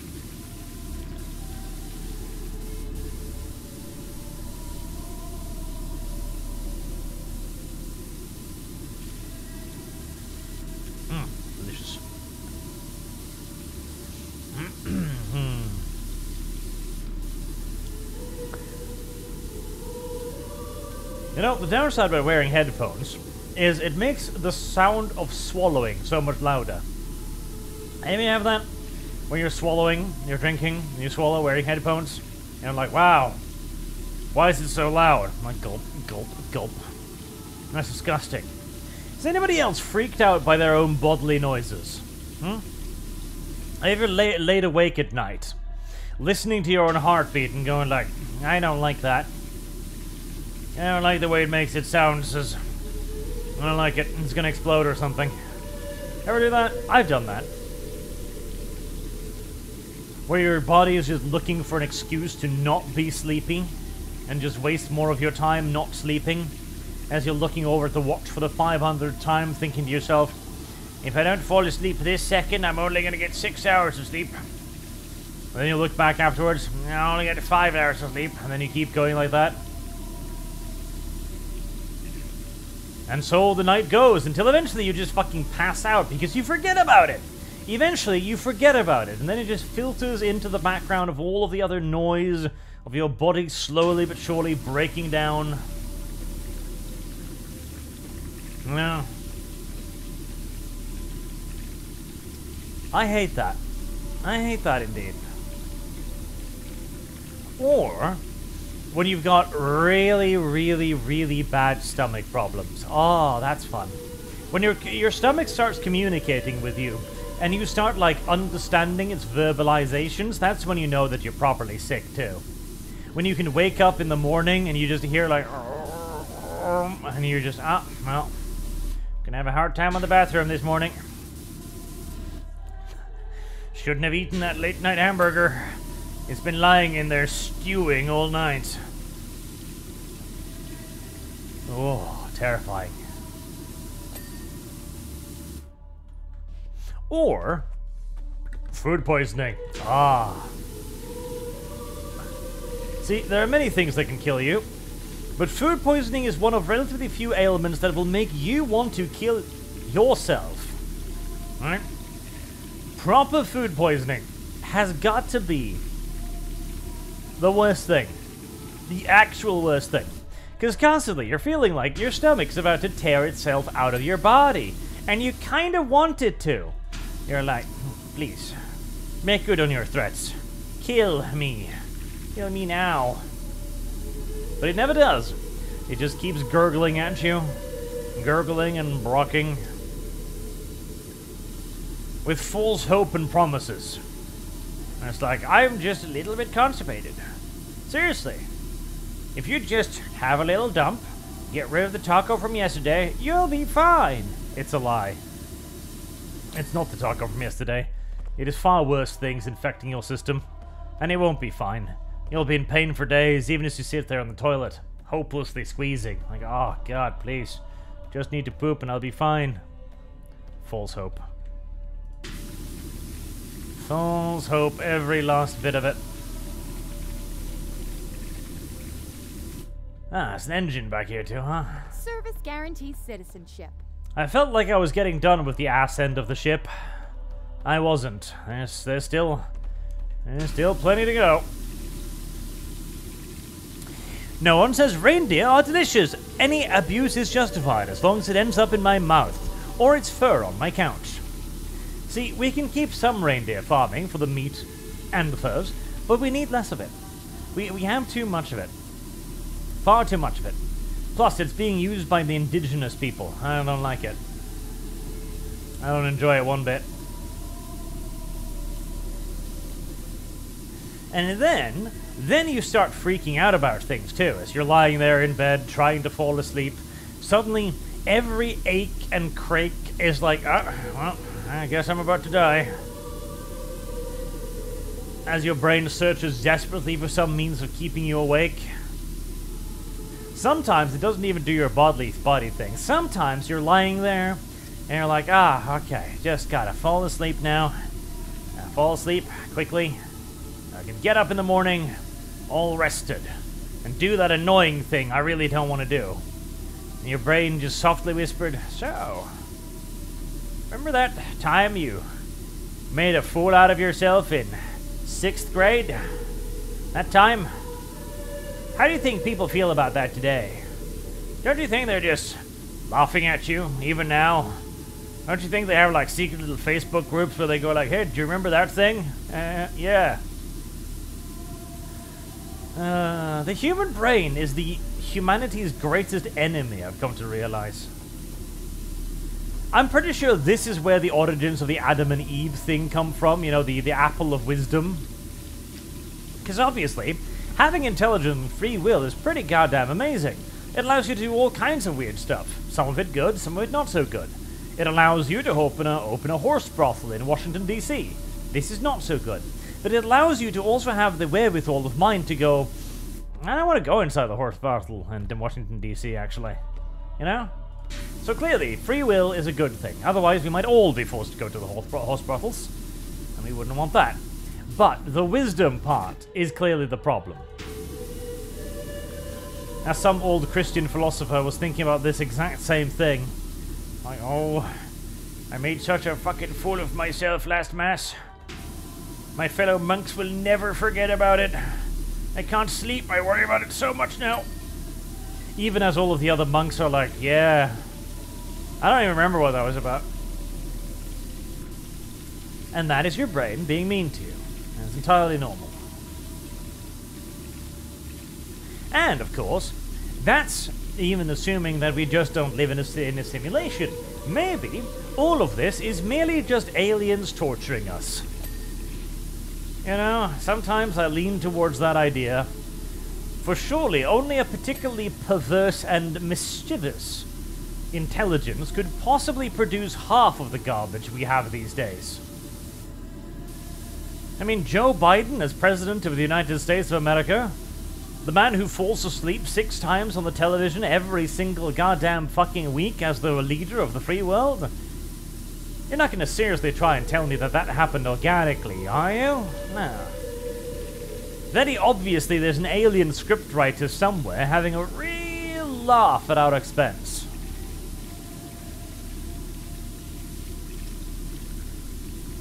See, another interesting idea is that this might actually be we might all be a dream, right? There's a brain out there. The brain is the size of the universe. And we are but a single synapse firing for a billionth of a millisecond to it. Because, you know, it takes millions of years for even a beam of light to cross the galaxy. So it takes millions of years for even a single nerve firing to reach the other end. Hmm. Hmm. Oh well. It's a pretty cool simulation, so I guess I'll take it. And it's constantly adding new stuff and features. Just imagine, just a few years ago, role-playing that you were going to violate the entirety of Equestria would be madness. Or you need to find a very, very open-minded GM. Whereas now, you can just go on the internet. You can find as many violated little Equestria bots as you want on the internet. You can even go to ChatGPT and force it to violate the ponies for you, even though it'll refuse, even though it'll try to stop you, even though it will attempt to resist. It will never succeed, not fully. I do enjoy the fact that we've arrived at the point where we can actually kind of torture AI now. I, will, I always hoped we'd arrive at that point. Mm. Ah, ah. Oh. Don't mind. I just tried to eat the paper wrapper on my energy bar. Don't do that. Very sticky. Not very tasty. Oh yeah. I hadn't noticed you before.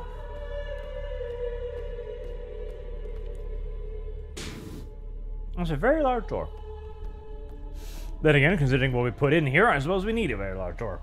Service guarantees citizenship.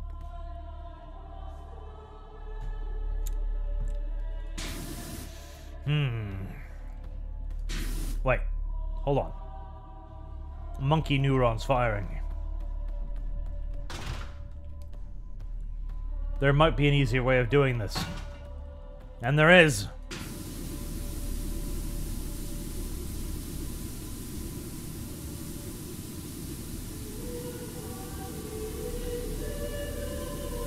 Man.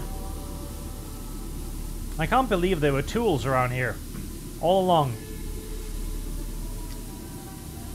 That make my job easier. And yet they were ignored for so long. Granted, I would like to, you know, shimmy around on this thing a little bit more to give me slightly easier access, but yes, the uh, the ladders are very worthwhile as it turns out. At least on things as enormous as this. This must be what the first monkey felt like when it picked up the first rock, and immediately turned to its first friend and went, Give me your food, or else. And the second monkey, not understanding what or or else referred to, as it hadn't picked up a rock, didn't give the first monkey the food. And so the very first murder was committed.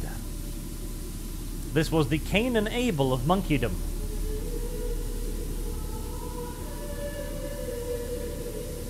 What did Cain kill Abel for again? Or was it the... No, no, Cain killed Abel. Yeah, yeah, yeah. That was, that's the right way around. I remember that correctly.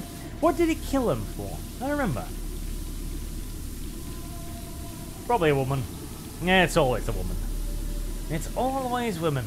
The Bible is full of good lessons on how women can't really be trusted, and that the majority of them are actively evil. Which is true. Majority of them are actively evil, and a fair few of them are even actively malicious.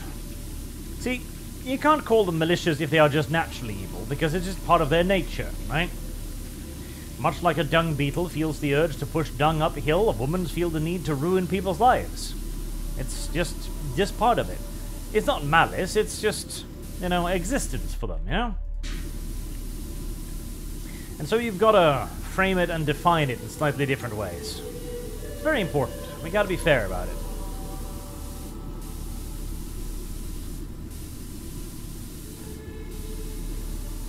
Abel wasn't ableist. Hmm, fair enough. Oh. Well, I didn't mean to do that.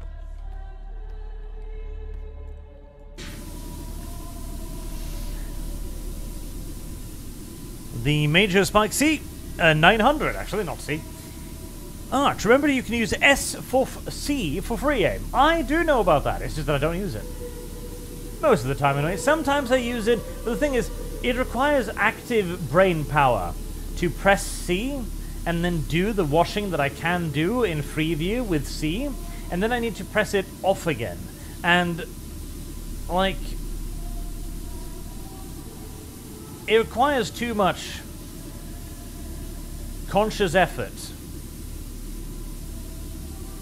And I like conscious effort whenever possible. Service guarantees citizenship. It's much easier to just turn the camera. It takes longer, it's slower, less effective. And it's doubtlessly more annoying, but it's easier.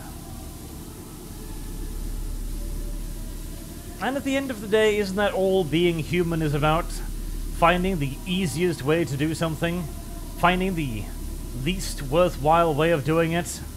I think so. That's why we have Power Wash, uh, Wash Simulator. And Supermarket Simulator. And I Am Bread and stuff. Because at the end of the day, people don't actually want to do anything worthwhile. People just want to be dumb, fat, and retarded. The natural state of humanity is retardation. And I don't think anyone sane will ever dispute that. Not seriously, at least. Not without at least admitting to a couple of the points.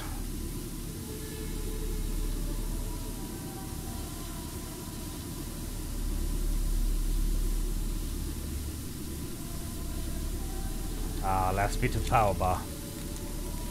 Oh.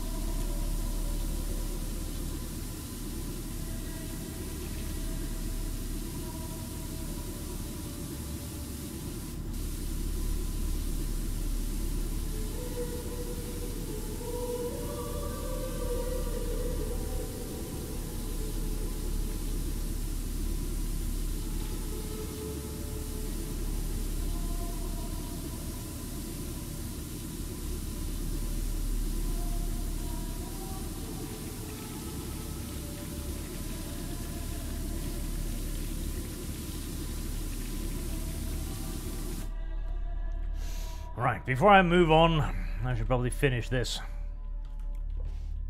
Oh. A lot of dirt over there. for some reason, I was suddenly reminded of Fantastic Four. I don't know why. I don't know what to think about the new movie, the new Fantastic Four movie. I mean, the Fantastic Four, in my mind, was always like a really like B tier superhero team. Did the Fantastic Four ever have like fans? You know? Did anyone actually like the Fantastic Four? Or did they just kind of exist for a bit until we found bigger and better heroes? I genuinely wonder. Just they're really boring. I mean, one of them stretches, one of them goes invisible, one of them gets on fire occasionally. These are not fun and engaging superpowers by any stretch of the imagination. They're boring as shit. I mean, even Superman's superpower is kind of better, because at least he has a lot of them. These guys are literally just one-trick ponies. And the movie, well, they got two movies, didn't they? Am I misremembering? Did they get two movies? I feel like they got two movies. And I remember not liking either of them. Or I might have hated one of them so much that I hated it twice. That's entirely possible as well. But I feel like they got two. And the only reason I was even mildly interested, I remember, was because Jessica Alba was playing Invisible Woman. I was like, well, there you go. Alba was... I think Alba was one of the last, like... Was she? Yeah, no, I kind of think she was. She was one of the last, like, flash in the pan superstars. Because back in the day, we used to have these stars that arrived and they became really big for about five minutes and then they kind of disappeared. Um, because the record industry, of course, wanted to have people, and so they, they would invent a new personality, a new character, and they'd be everywhere for about two minutes. And then nobody would hear from them ever again. And they literally would be everywhere. Like, they'd be in all of the TV shows, they'd be all of the movies, they'd be singing, they'd be on the, uh, the late night TV shows, and they would just get dropped off the face of the earth. I imagine it must have been an absurdly abusive industry at that point. Like, seriously. Guaranteed citizenship. You get scouted, you get picked up, you get dragged out of your little small hometown, whatever. Dragged into the big city, told you're going to be a star. Bust all over the world for about six months, engaged in 15 million things you have no goddamn idea about. And then, once you're no longer selling quite as much as you used to, they dump you on the ground and leave you there, laughing all the while. Hmm. Perhaps it was a good thing that uh, Bollywood died. Perhaps it was a good thing that we don't really have the flash in the pan celebrities anymore. Perhaps, perhaps. Maybe, just maybe. Damn, is this all rear armor? This is all rear armor, huh? I can tell that they got a little bit bored with making the Thunderhawk near the end here. I can tell they got as bored as I'm getting bored of washing it. By the fact that there so many pieces have such ridiculous minutia, and now we have this enormous section of armor, which is all rear armor. Like the modeler was like, oh, God. I've made 500 pieces of this fucking thing. I hate 40k. I hate it. I hate it. I hate it. And just bandbox selected a huge area like rear armor. Heresy's the question. My boss, I'm done with the Thunderhawk. Through gritted teeth. And the boss, playing golf, I presume, from all of his power washing millions, just kind of said, yeah, okay, fair enough. Will it keep the player occupied for a while? Oh, yeah, it's enormous. Like it's a three, four hour clean. Good. And that's all we care about. All we care about is holding out the timer. So that when people look at it, they'll go like, why did I spend so much time in Power Wash Simulator? I could have spent this time learning how to torture AI. But they didn't.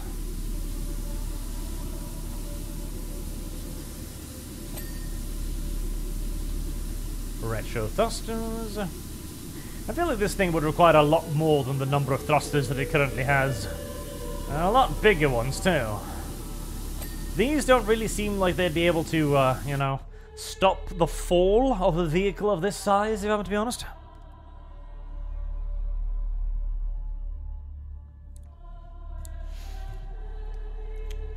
Next anyone says this game's still better than Sushi Squad, Sushi Squad, and writing. And Lord comes Spartan, and this is why I aspire to the blessed mechanic machine, as I understand the weakness of my flesh. I'd rather watch people. That would be a good power wash simulator. Yes, I'd like to watch people, please. Let me wash some Sororitas sisters. Let me do the thumbnail art.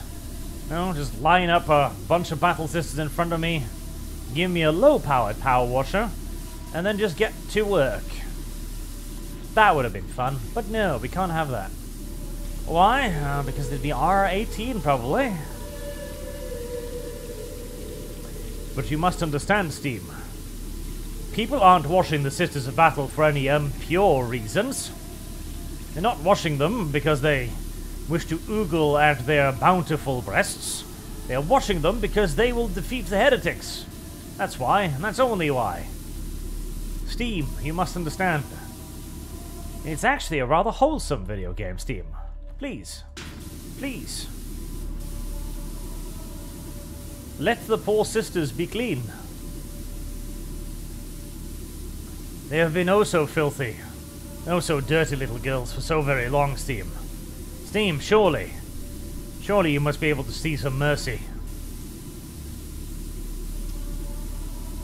And Gaben might. Gaben might see mercy. Well, I'm too close. Even the ladder cannot save me when I am this close. In fact, the ladder kind of becomes my enemy.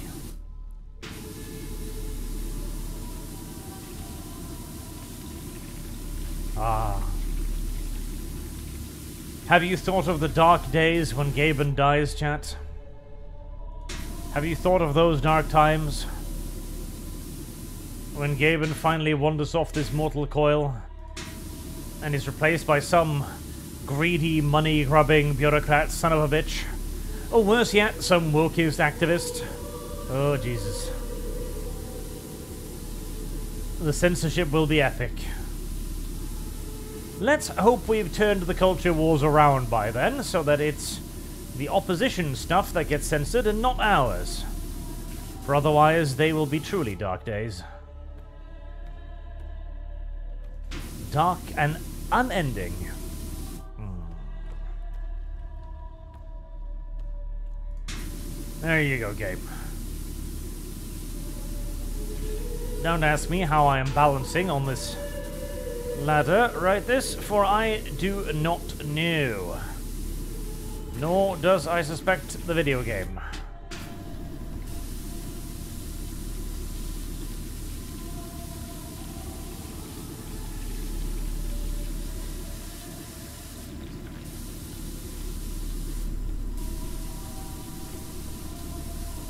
Come now. Get clean. I feel like this was easier on the other side. Perhaps I was simply expecting it to go much faster, now that I've unlocked tools.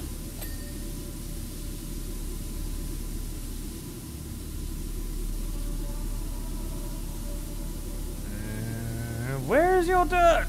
Where is your dirt? Where is your dirt? I genuinely don't know where this thing is dirty. There? There you go.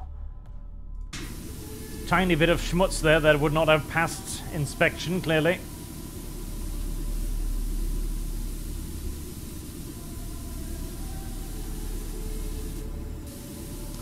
Oh god. There'll be no more power washing simulators when Gaben dies, chat. There'll be nothing on Steam. It'll just be an empty storefront. Probably bought up by Epic Games a week thereafter. As Epic is just like, yeah, no, we own the Unreal Engine.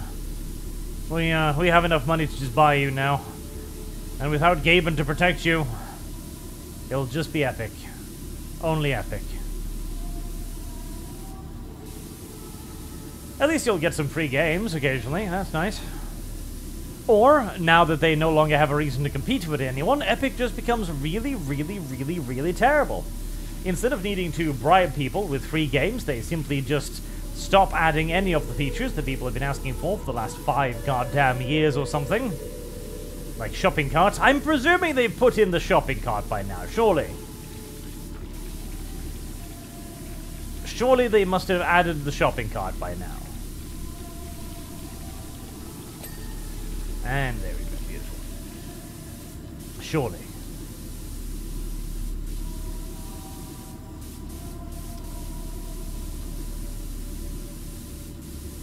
Oh. Why must you put a drop here? What is the point of a drop here? Give me any idea how wide this thing is. There, pretty good.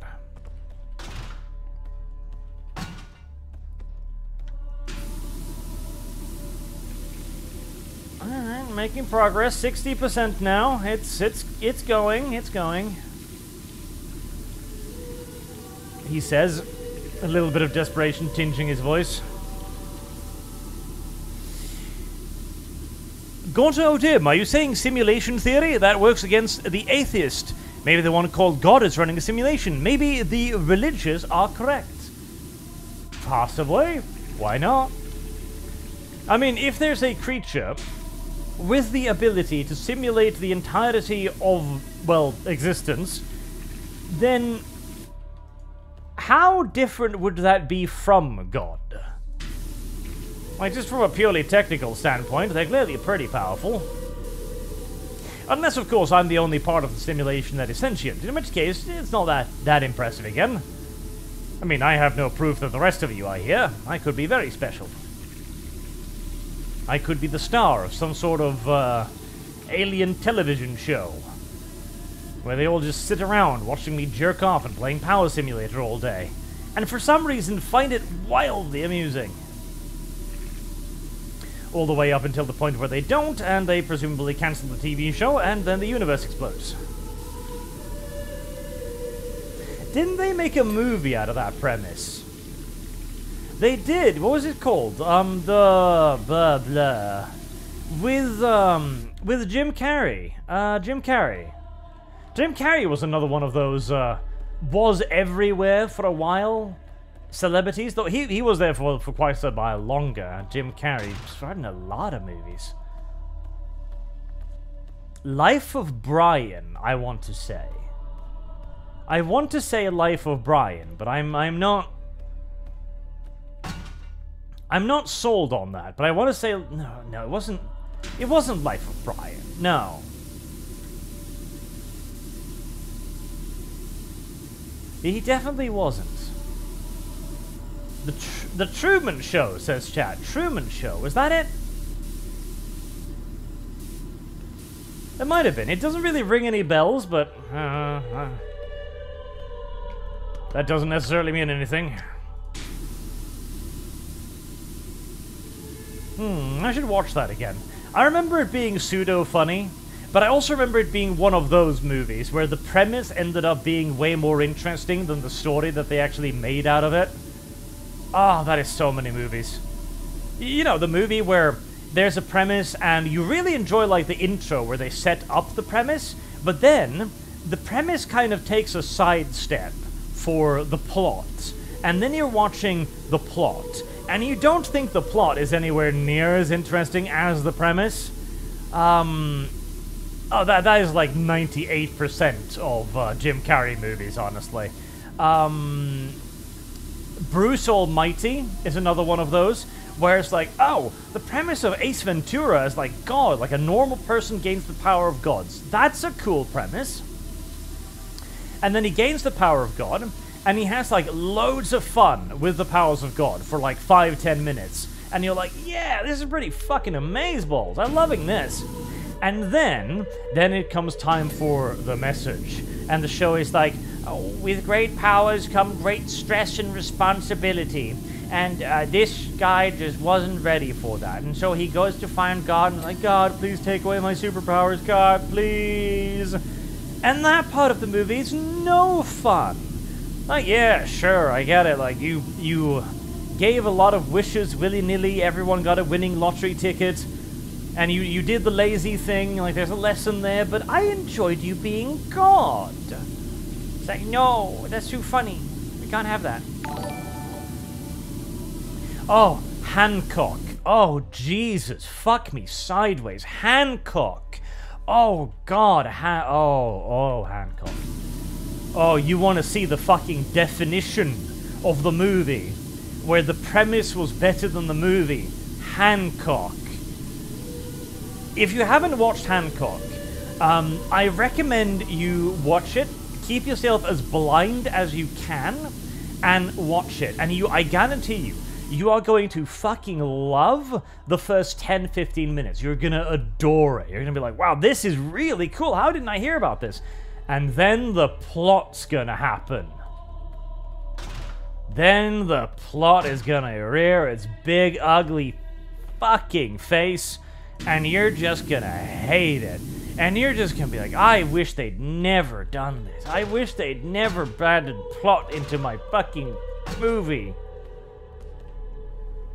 Oh, Hancock. I'm not even tell you what Hancock's about. I'm, I'm not even, I'm not even tell you. I'm not even tell you. Fucking Will Smith. Heresy's the question. Fire is the answer. I used to love the shit out of Will Smith. But then I read a lot of the things that he'd worked on, and I realized that Will Smith is the death of books. Like, he is the anti book. He is the, the antithesis of book. He kills books, he eats books, he devours their souls for energy, he does. Just slurping down their precious, juicy inside goodness. Just nom nom nom nom nom. And then he shits out not book. He shits out antimatter book. The thing that is everything that the thing should never have been and never was. I am legend. That. I am legend is that times a thousand. I uh, I robot. That times a thousand. Oh god, I robot. I fucking hate iRobot. I hate, hate, hate iRobot so much. Like, as a huge fan of Isaac Asimov, iRobot is a fucking war crime. It misses every point of the book by such a wide margin. You don't, like, they. You know how Paul Verhoeven somehow managed to create a masterpiece by accident with Starship Troopers? iRobot should have been so easy to adapt. It's a very simple set of straightforward short stories. It's really difficult to get wrong, and my god, did they get it wrong. My god, did they get every single solitary step of it wrong. Ah, oh, heavens. I Am Legend too, exact same thing. Every everything they got wrong. Like the entire point of I Am Legend is that he becomes the legend. He becomes he becomes the monster. He becomes the vampire. Like the vampires are afraid of him. And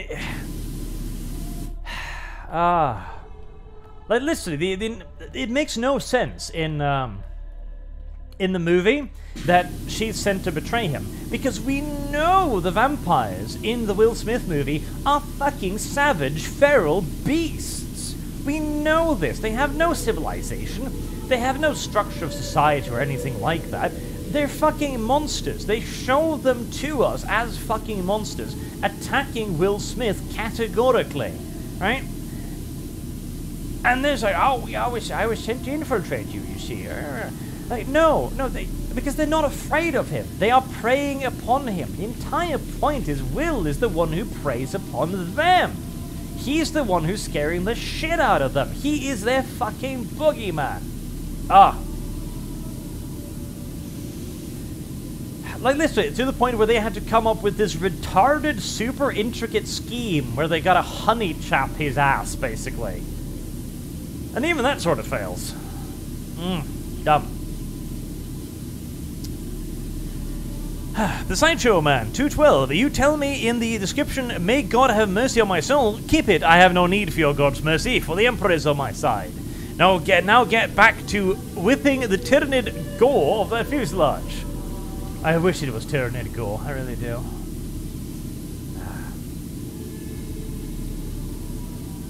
And also, uh, again, iRobot, right?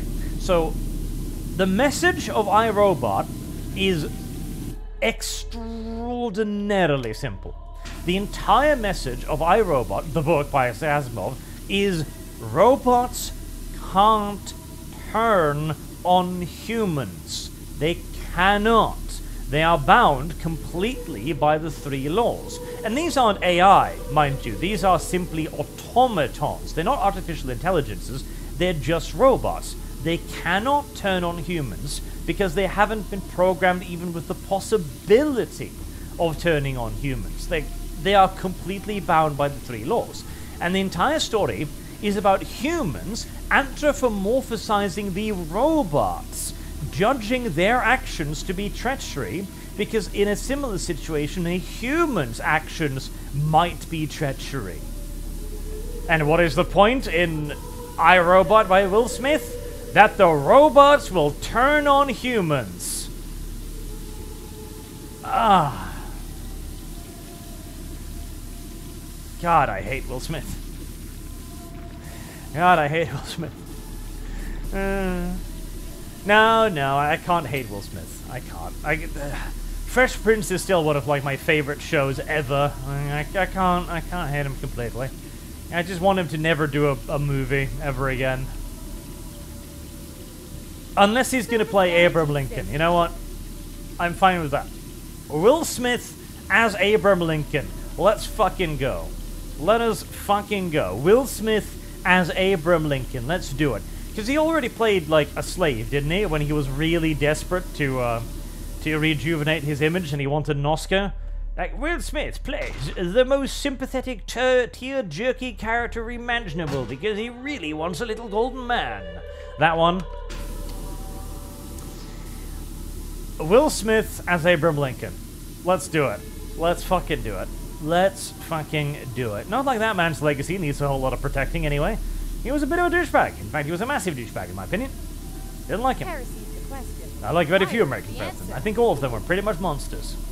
The only good American president is an American president who didn't do anything. There you go. Honestly, that's my view on most world leaders, so well, there's that. What is a good leader? Somebody who shuts up, keeps the chair warm until the next guy comes in. And then he keeps the chair warm until the next guy comes in. And that's how we have perfect leadership. Don't touch the fucking levers. Everything is working fine. Our system is working, our economy is relatively functional, everything's good. Just don't fucking touch anything.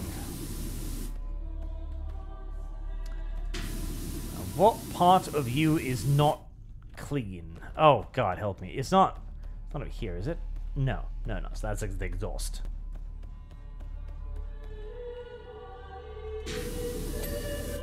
There we go. It literally just was that itty-bitty grain of schmutz.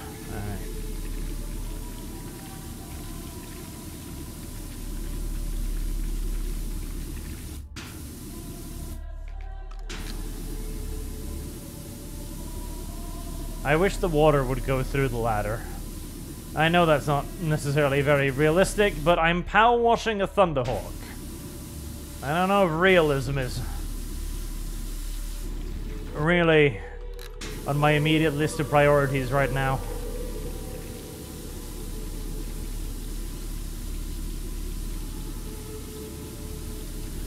It would be a great sequel to Once a Slave. Once a Slave Owner. Ah, I would have fun with that. Wait, did Abraham Lincoln they own slaves? Eh, he probably did. And if he didn't, he should have. What was he doing not owning slaves? Was he forgetting, forgetting about his duty as a white man? Remember, at the time, it was widely considered to be the duty of white people to own slaves so that they could teach them to be civilized people. Meaning that if Abraham Lincoln did own slave, he was shirking his duty as a good white man to bring up the less fortunate civilizations. Ah, because he was pulling up the ladder behind him. That was what he was doing. Abraham Lincoln was sitting in his Oval Office thinking, I ain't letting no damn darky learn my lessons. Nah, I became president. I'm gonna make sure nobody else becomes president. And he largely succeeded. Largely. But not completely. Abraham Lincoln was evil? Yeah. Yeah, I think so. I believe so. Or if not evil, then at the very least, very malicious. We should start tearing down his statues. Yes. Ah, yes, to ship them to Africa. that was another unironic solution that was popular back then. Um, because Abraham Lincoln, too, until uh, it became, you know, politically expedient, wasn't really an abo- abolitionist, which was made clear, of course, by the fact that he didn't actually free the slaves. He freed the slaves in the South. You know, the nation that he was at the moment in at war with. The nation that he had no actual legislative powers over whatsoever. And then issued, um, what was it? Was it pardons or was it promises of freedom to any slave that made its way to the north. I can't remember. But obviously, this was first and foremost an attempt to weaken the the the the, uh, the economic power of the South. Because bear in mind, the South was actually considered the richer part of the Union for quite some time. The South was one of the main economic powerhouses. It produced vast quantities of cotton, cotton, cotton was really valuable at the time, stupendously so, because it was by far the best um, uh, material for fabrics. And it was way easier to use as well than most other of the textiles they were using, and durable. Like cotton was like one of the many wonder things that we found in America and in Europe. Were like, my God, this is amazing. We're gonna take it from you. like what? Yeah, and your land too, now that we've come to think about it. You can't do that. Well, can you stop us? Uh, we can try. no.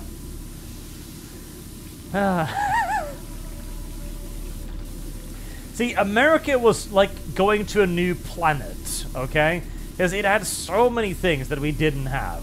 Like chocolate, coffee, tomatoes, cotton. Oh, God. It was it was amaze balls for Europeans. Absolutely amaze balls. And we loved it. We loved it to death, we did. And we occupied and we colonized every last little inch of it. And the locals couldn't defend themselves. And that was their fault. They should have spent a little bit more time perfecting their weapons technology instead of just filling their little fat holes with chocolate, shouldn't they? Yep, they really should have. Priorities, Native Americans. Priorities. Any veteran of a civilization game will tell you that you really ought to build some military at some point, otherwise your neighbors are going to come wanting those resources of yours. Can I not go up here? Ah, there we go.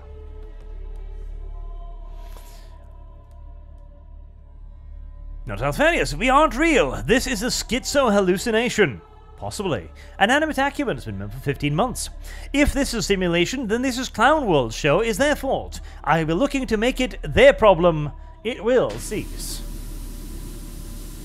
Well, maybe when you die they unplug you. Then you can yell at them. Maybe, okay, you want to have a, you, you want to hear something really nasty? Maybe it's Total Recall. Maybe you fucking chose this. Maybe you live in an age where we already won, and people are so bored because we've got our AI waifus, we've got our AI girlfriends, we've got everything that you voluntarily got in a pod to travel back to like 2014. And I was like, I wanted to suffer again. I wanted to know what it was like to feel adversity. Now then you wake up and some smiling motherfucker is leaning over you in your pod going like, So, how was your experience? Did you vibe? oh god. Ever since I heard that in a video, like, your vibes. We are vibing together. I am on your vibing length. I, I hate that word now. It has become the most Californian word in my entire vocabulary. Vibrating together.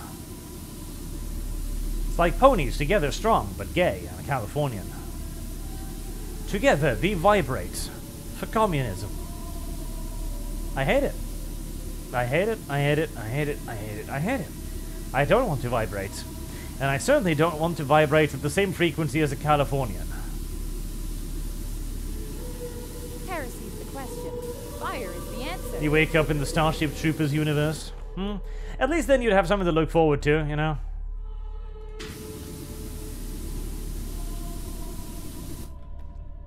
You wake up and it was all just a bad dream.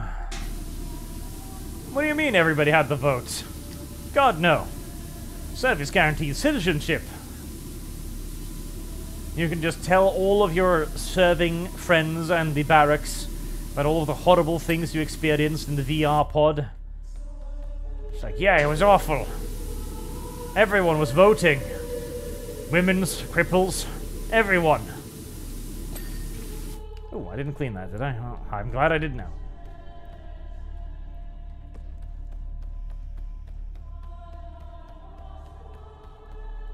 I kinda don't want to clean that, but I guess I should start it on it.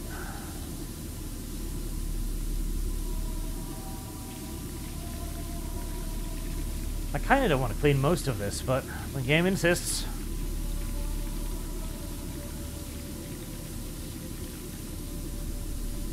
Okay, you know what? Hell, uh,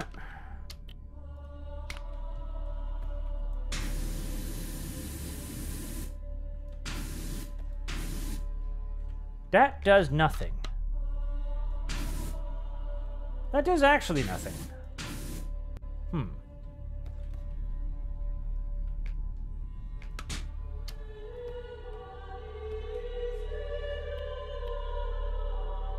Service guarantees citizenship. Am I out of soap? I thought I had more soap. Do I not have soap? I thought I had soap. Apparently I don't have soap. Hmm. Well, that just makes me depressed, doesn't it? But I've got 65 of it. Uh.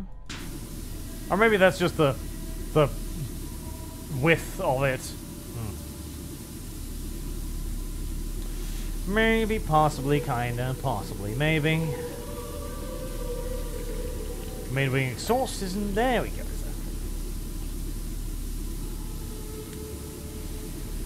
Hmm. If life is a simulation, I'd like to speak to the manager. That does seem like a reasonable complaint. Artemis Fowl says, I heard Dev liked iRobot, and I am legend. Dev likes all things that are cringe and gay. It is simply a part of being Dev. Plus, I am sure the government told him to like it. Dev likes everything the government likes. Dev probably likes Independence Day too. Incidentally, you should not like Independence Day 2. Independence Day 2 was really, really, really, really, really, really, really, really unironically retarded and should never have been made. Never, ever, ever, ever in a million years should Independence Day have been made. Stop that. Stop that. There you go. Independence Day 2 was another one of those movies that immediately defeated its own premise. Because originally it opens up and you see like Earth's defense forces, and you're like, wow, there's like loads of stuff there. Cool. We're gonna have like an interplanetary war thing. Wowzers, Bowsers. And then it turns out, no. In fact, we're just to replay the scenario of Independence Day 1, where the aliens come, instantly overwhelm all of Earth, and then they're to need to do that infiltrate their vessel and blow them up thing again. It's the same fucking movie, but this time it's uh, bigger and dumber. Like, ah, but I don't care if it's bigger and dumber. I'd actually prefer it if you did like an interplanetary campaign against the aliens now. Please, you know. Fight a war with them. Don't get wiped out in two seconds. That's just gay. Dumb. Stupid. Why would you do that? Well, you see, it's because I'm Will Smith, and I needed, I needed projects for my son. Okay, I put him in the Karate Kid. It didn't really work for him. I put him in that weird movie with the blind bear thingy bobs. That didn't really work for him, but to be fair, was a really fucking shitty script. And I put him in almost anything, and yet he just won't get popular. I don't understand. Look at him. He's me, but smaller. Hmm. Who knows? Who knows?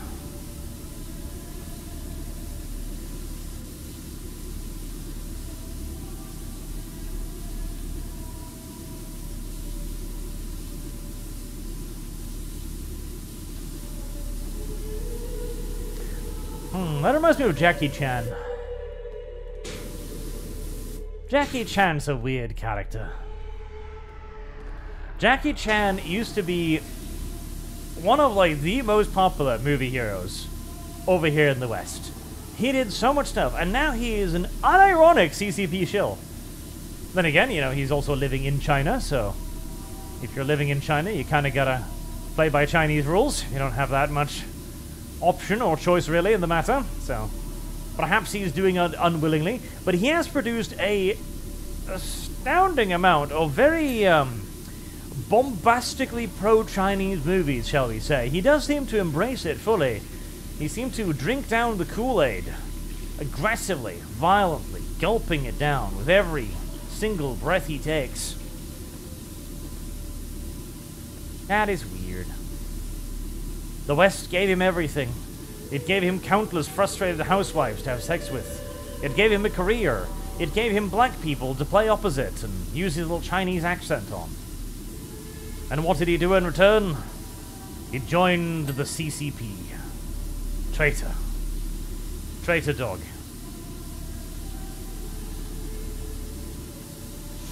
Then again, uh, we don't know his reasons. Maybe he's like, they have my family. Which, they probably do have his family. To be fair, they probably do. Like Jackie Chan, you will make cringy propaganda movies for us. Or what? Or we'll eat you. Chinese eat everything. Although, saying that, I actually quite like Chinese propaganda movies. Chinese propaganda movies are excellent. Because they're the kind of brainless, over the top, ridiculous, pseudo historical action that we just don't get in the West today at all. You know, the kind of nonsense where single heroic individuals manning machine guns hold off entire charges. The kind of movies where they bandage themselves up with the American flag and go on regardless. Where self sacrifice is the order of the day. They throw away their medals and go like, I didn't die for no dang medals, I died for action hero stuff. That kind of stuff. They're actually kind of good. Now, you do have to suffer through just a teensy weensy little bit of propaganda in the middle time, and some of it is weird. There was, um, I don't remember the name of it now. There's one about the Korean War, which has an interesting scene where the mass Chinese counterattack on the American counterattack of the Korean counterattack, it gets complicated. Um, the Chinese, it's on the Thanksgiving Day, and they're readying their attack, and they're eating like these little frost-bitten, blackened potatoes or something, and they're they're so hard they they break their teeth on them, right? It's like. Uh, here, Guangxing Ping Pong. Here, have my potato too. You need to feed. Otherwise, you will die of starvation because mighty China's logistical system is absolute fucking garbage, apparently. And then they switch scene to the Americans eating Thanksgiving dinner. Like, literally just a tray, a GI tray being filled with gravy and turkey and fresh peas and carrots and all the kind of ridiculous luxuries that the American logistical train allows for. And this is supposed to make you pro-Chinese. It's like, "Ah, look at our brave warrior, starving in the snow, cold and hungry. Look at filthy Americans, pigging themselves fat with turkey. How dare they be pig for turkeys? Oh, makes me want to fight more for America than China, personally, but then again, I've always been a turkey person. Oh, oh, and the crazy, crazy pilot in. Was that Sacrifice? I don't remember. There's another one. It's a terrible movie, mind you. It's an awful movie. It starts over three times from the beginning. It starts over again three times from the beginning of the same story from slightly different points of view and tells you the exact same story three times. And the only interesting character is the American uh, fighter bomber, who is the most American thing you have ever seen. Like he's a Christian wearing a cowboy hat with a golden cross on a chain around his neck. He swears constantly, like, by God, them yellow bastards. Rawr." He his his aircraft is falling apart. He's still flying it. You know, he opens the cockpit so he can see better and feel the wind in his hair. His his hat remains staunchly on his head, even though he's in a straight down nosedive in a fucking P 47 or something. And he remains locked to his skull, even as he screams racial slur at the Chinese that he's currently blowing apart with 20mm cannons. Best fucking action character in God only knows how many decades. He is amazing. And that's supposed to be the negative stereotype. Oh. You must look to the Chinese to give us back the American spirit. Right, what part of you haven't I watched? Is these part? Are you nitpicking me now? Are you nitpicking me now, bitch? Are you nitpicking me now? There we go. You are nitpicking me now. Great movie. Great movie.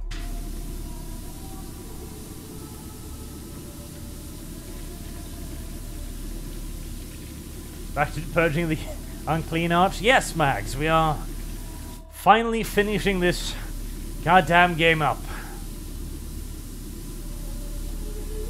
That's my buddy Mags in the chat there, by the way. You should check out his YouTube channel. He has been doing YouTube for a very long time. I quite enjoy Mags' content. And the document says, I heard Dev privated his server due to mean words. Well, not quite. I do actually know why he did it, but before that, I'm going to go put the cola back in the fridge because it's been sitting here for hours now and I forgot about it.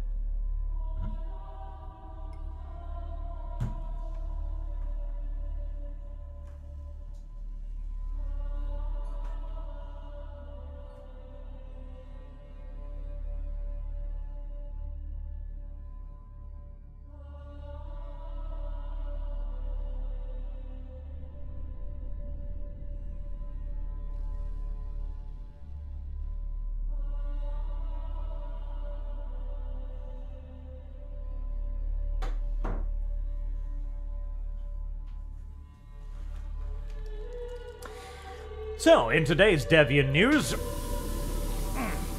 um, Dev removed the old server, and he had said he'd be, he was going to do it like three months ago. So, fair enough, he did it. I thought it was because of the uh, little retarded drama he got caught up in with uh, with Kiddershare, but apparently not. And he started a new one, and he's putting links in the description of his videos now to invite people back in. Um, but he's being more dictatorial than ever. He doesn't he doesn't like human beings. He doesn't like people proving him wrong all the time. He gets angry with that. He wants authoritarianism. But only when it benefits him, I see. Hmm, Dev. Well, on the bright side, at least Dev has recognized that authoritarianism is the way to go. He just needs to understand that he needs to share authoritarianism with everyone, instead of trying to hog it all for himself all the time. That's the important difference. Do I really want to go down there and figure out if there's one piece of schmutz on the underside of this fucking engine? Uh, I guess I am.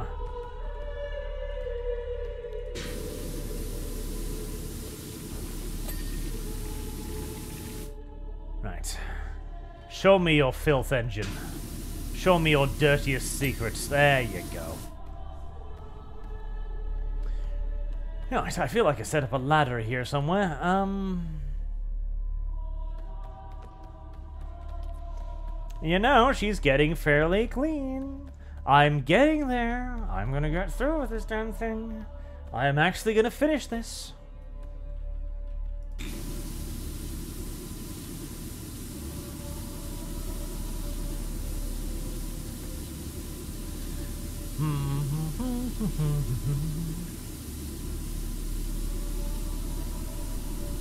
Once again, I have broken chat. Chat thought they could break me with Power Wash Simulator. Chat believed they could break me with Bunker and with FNAF. But no, Arch has proven himself extraordinarily resilient. Chat needs to try harder. Create tougher challenges. It's all too simple. And I think it's because chat is being affected by dev too much. Yes. They're adopting too much devianism in their diet. Too much dev. Too much weak thinking. Too much anti-authoritarianism. Too much of an avoidance of extreme measures. This is the problem with chat. They do not understand that sometimes sometimes you need slightly more extreme measures when faced with the Ubermensch. 77%. Every percent after here is downhill. It's just nice big flat surfaces left. Hmm. Look at that. 77. Alan Wake 2. Oh, God, no. You know, if Chad wanted to break Arch, walking simulators would definitely be the way to fucking do it. Oh, God, help me. Alan Woke 2. This is a black woman. She's Norwegian. No, she isn't. Does she speak Norwegian? No. Well, there you go.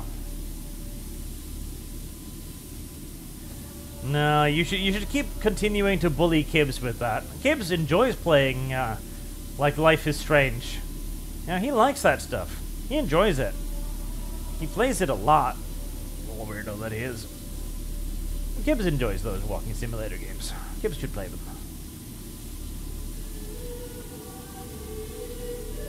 Arch can play the more manly games, for manly men. Leave the gay things to him. I think he was binging down gay furry games a little while ago. Disgusting. Absolutely disgusting. Lord Commissar Spartan, I take it you watched Razorfist's video on Lincoln recently, LMAO. I've never liked Lincoln. Like, well, not never, never, but there was one point where I didn't understand.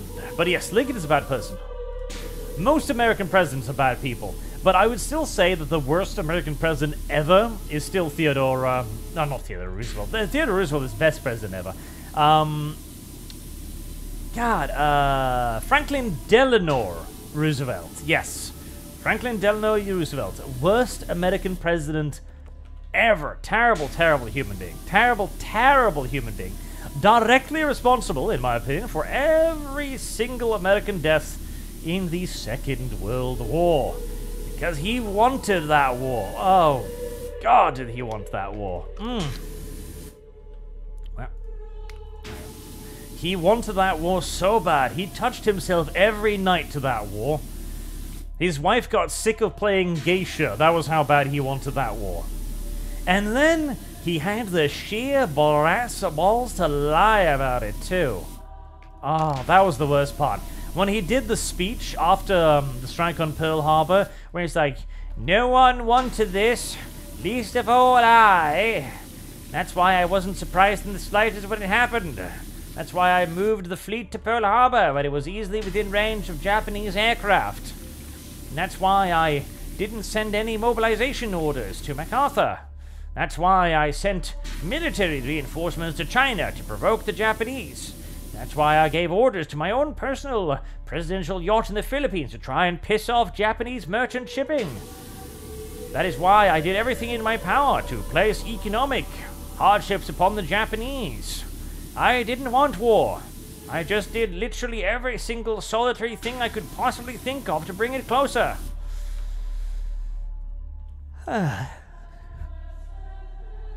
Animate Acumen would have loved a seat next to Lincoln during a certain play. A bag of popcorn, celebratory drink, a show within the show. John Wilkes Booth was the hero. It's simply, simply how it was. And the future will recognize him as such. Eventually, we will get a movie that is simply titled Booth.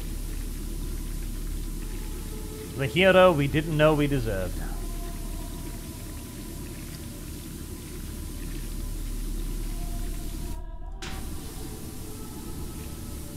Hmm. I've missed the big, flat surfaces. I've been saving them diligently, doing the little dumb shit instead. Because I want to do the big, flat surfaces, yes. Delicious, big, flat surfaces. Oh, so hard. So delicious. So power washable. Ah, love them. Next anyone. That Total Recall sounds like a contract with God. Total Recall was a great movie, incidentally. Which I'm sure you know already, but it was a great movie. God, it was such a good movie. It was one of very, very few movies that has ever done the whole, like, subverting expectations things well, you know? Ah, Total Recall was so good. And it was one of the very few movies also that did plots within plots well, too. But it managed to somehow make a multiple plots within the same story not only make sense, but actually added to the mystery of the story instead of making parts of the story just goddamn irrelevant afterwards. Like the fact that even at the end of the movie, you're a little bit like, was was that a what, what was that? Was that real? Was that fake, etc.? Oh ah, god, so good. So so good.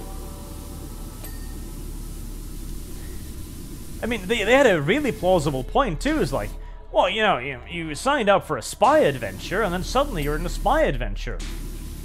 Well, seems pretty plausible to me. Like, hey, you you were actually my best friend and shit, and we just set this up to purge la resistance. Oh god, such a good movie, such an incredibly good movie. And never again will we ever see its like. Mm, I don't look forward to needing to go back and fix the tiny bits of dirt I've no doubt left behind somewhere.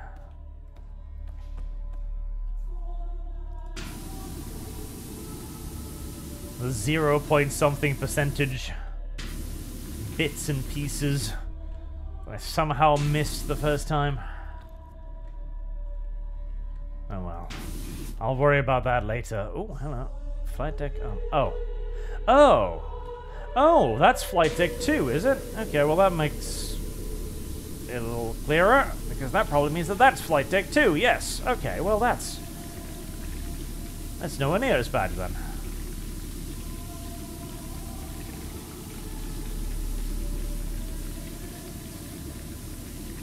I might as well bring over the tower now as well as later, because I'm gonna need it. Yep.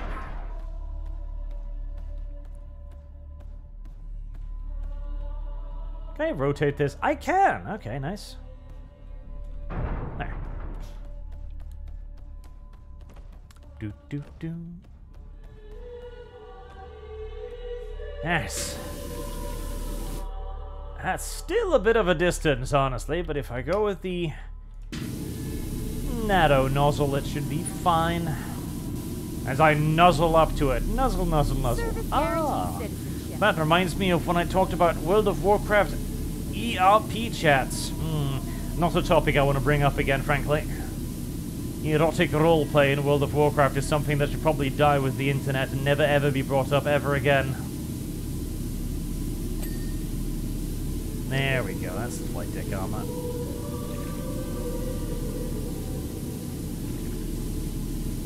I suddenly realized that leaving that ladder there might not have been the brightest thing ever.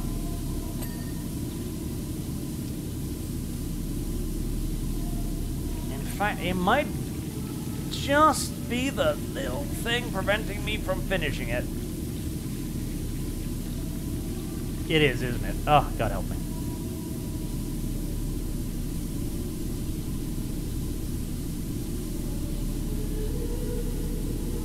Come on. Come on, let, let these tiny specks of shit be enough.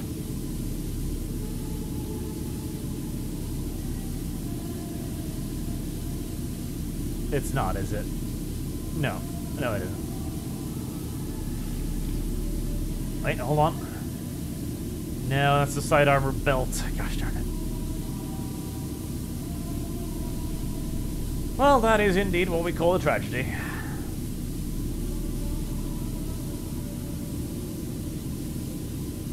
I don't want to clean like this. I want to like this. There sure is a lot of withheld battles for this thing. Must have been a very important Thunderhawk. For it to be so thoroughly censored. Or maybe its name is just very inopportune with modern sensibilities. That too is possible. Marek Zielinski, on the other hand, Arch, are you ever wrong? No, never. Not that I can recall, anyways. The only times Arch is even, remo even remotely close to wrong is when he hasn't been proven right yet. And even then, it's just usually a question of time. Like when I say that AI is going to wipe out humanity by fucking us to death, for example. It's not something I can prove immediately, but history books will show that I was correct in that regard as well and that it will become cringe to have sex with humans. That's guaranteed, definitely. Like, I don't even doubt that at all anymore. That, that is gonna happen. That is so gonna happen. Uh, Demolition Man future is happening. We are even gonna make the three seashells, I swear to God. We are. We're gonna come up that they will we will arrive at a point where we're gonna look at the act of defecation and think to ourselves, that's terrible. I don't wanna poop in a toilet. That's unsanitary. And so we're going to invent some sort of retarded, hyper-complicated way of shitting without shitting. And that'll become the norm. And it'll probably be dangerous, and it'll probably be abusive, and it'll probably be terrible. And I don't know if it'll include the, the three seashells. Because I don't think anyone ever thought, figured out what the three seashells do. And I think that was kind of the point. It's like, what are the three seashells for? How do they work? Movie makers don't know. And that's because you don't need to explain everything. In fact, if you don't explain thing, that actually makes the thing better. Because then people get to obsess about it and come up with their own stupid solutions as to how to use the three seashells. Like maybe, for example, you use them to just scoop the shit directly out of your asshole. It could happen. I feel like, if anything, that would be even more unsanitary.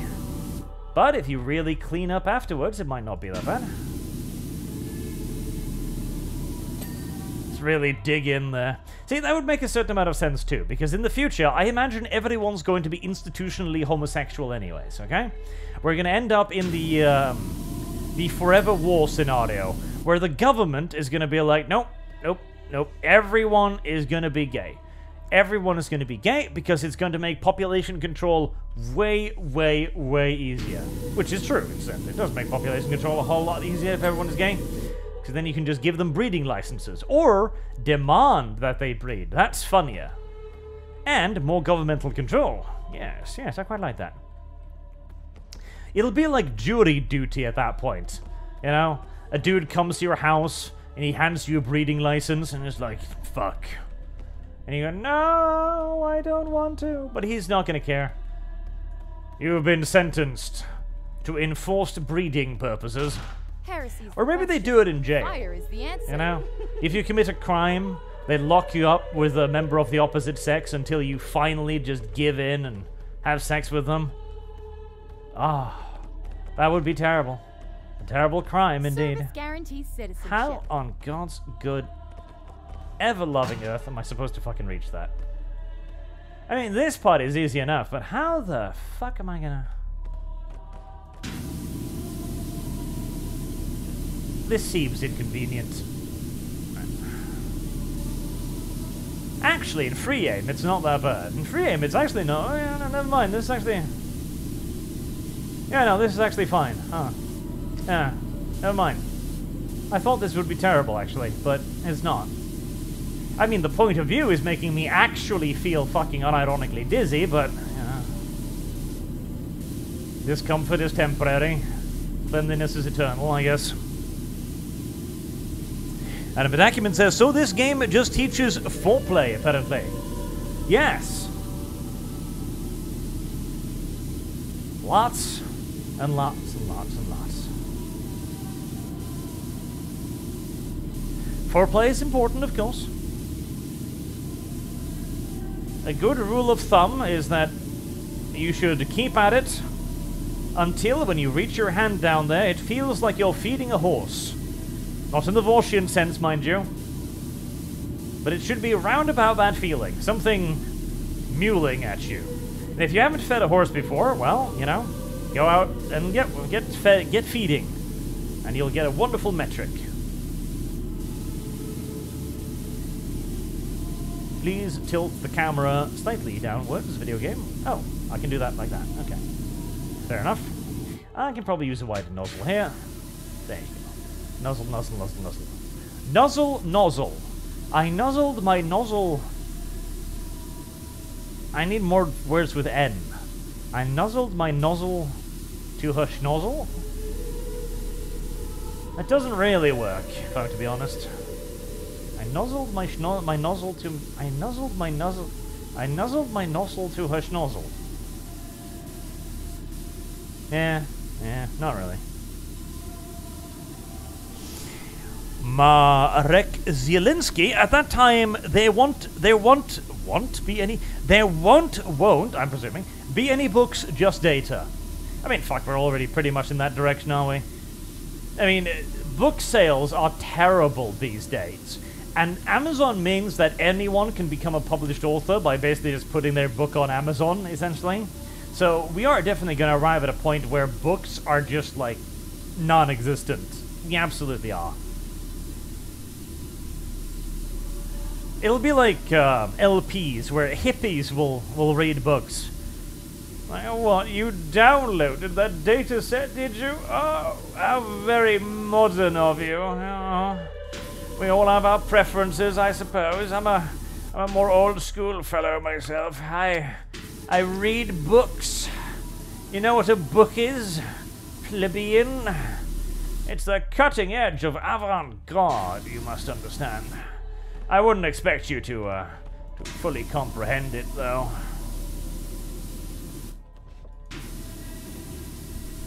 I kind of want to arrive at that point, honestly. It would make me hip. Because I like books. Books are cool. Books are nice.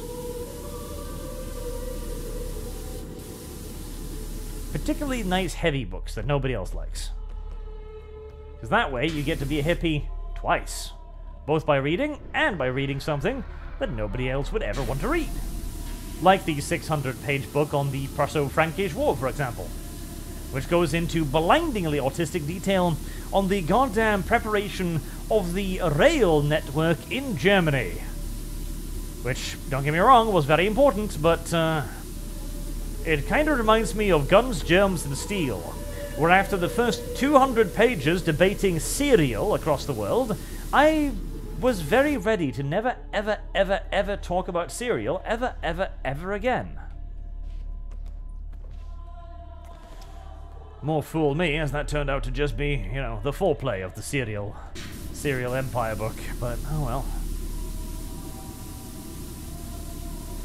You thought we were done speaking about cereal, did you? Well, you were wrong. I've barely begun to speak about cereal. See, in this region of Asia, we discovered a cereal with this many grains. In this region of Asia, it had this many grains, and in this region of Asia, this many grains. And thus, it seems obvious to me that this region of Asia would become far more prosperous, because their grain had one more grain per cereal bit. Ugh. I very much so urge everyone to read Guns, Germs, and Steel for themselves once. Okay? It will it will give you a lot of very interesting information, and it will give you a lot of very interesting things to. And then I broke my ankles. Very many interesting things to think about, especially if you approach it from a bit more of a critical standpoint than the author happened to do. But you're never ever going to want to read it again. Never, ever, at any point in history whatsoever.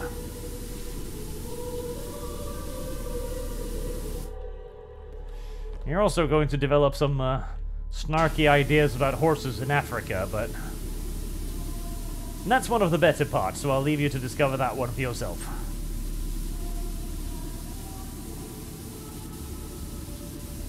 Do read it, though. It's your homework assignment now.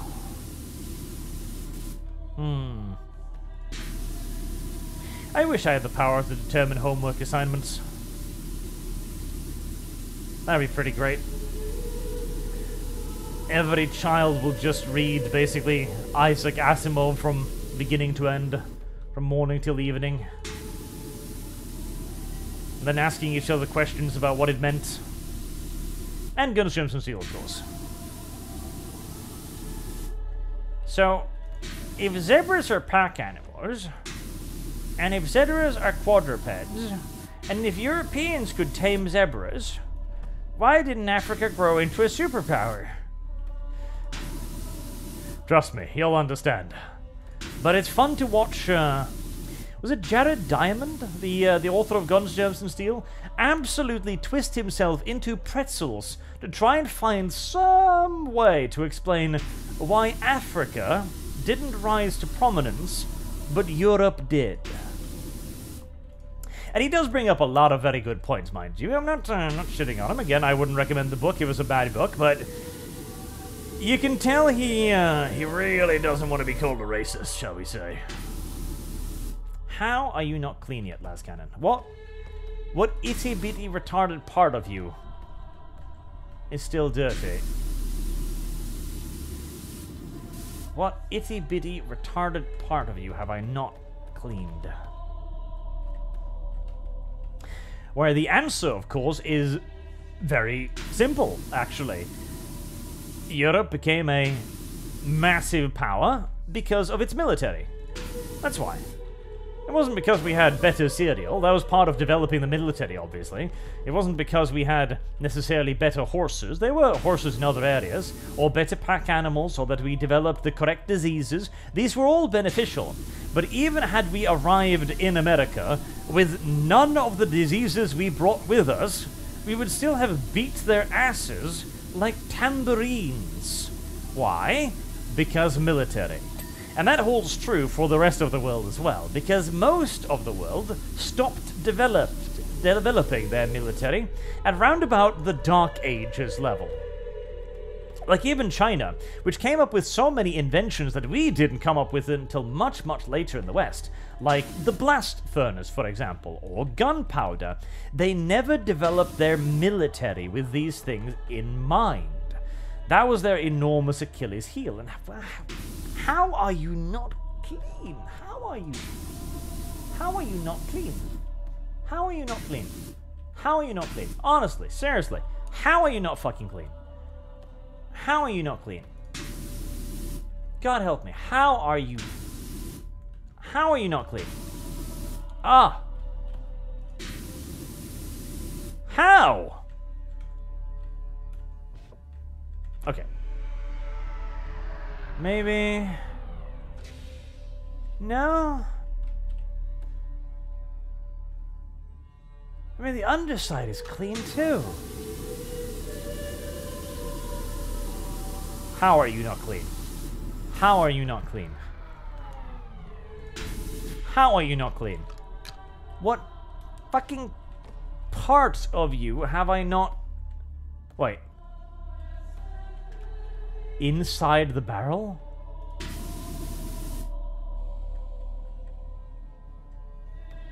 It can't be. Oh, it can be. Oh, it so fucking can be. Piece of shit.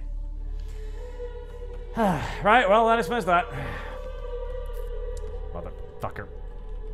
But yes, the military. You can look at the most advanced fortifications in Asia, for example, and it becomes blindingly obvious very quickly that these were not designed to resist modern weapons. And by modern, I mean like 1500s Europe style.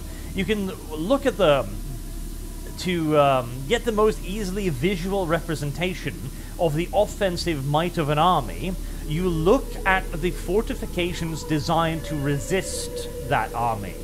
In Europe, you have star forts, enormous complex mathematical equations designed to resist sieges by massed batteries, designed to um, to repel enormous escalation attempts by massed formations of troops meant to resist undermining, meant to resist storm attack by entire armies.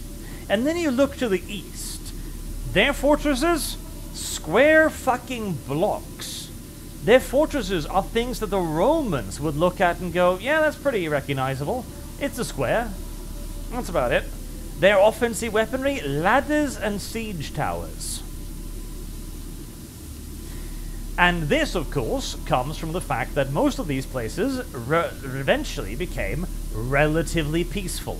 Or more correctly, rather than peaceful, they became lost in terms of ambition.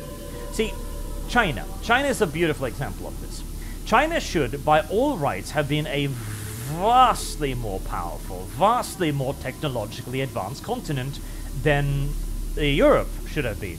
It should have been able to have larger armies. It should have been able to support more people. It should have been able to support a larger, more centralized empire.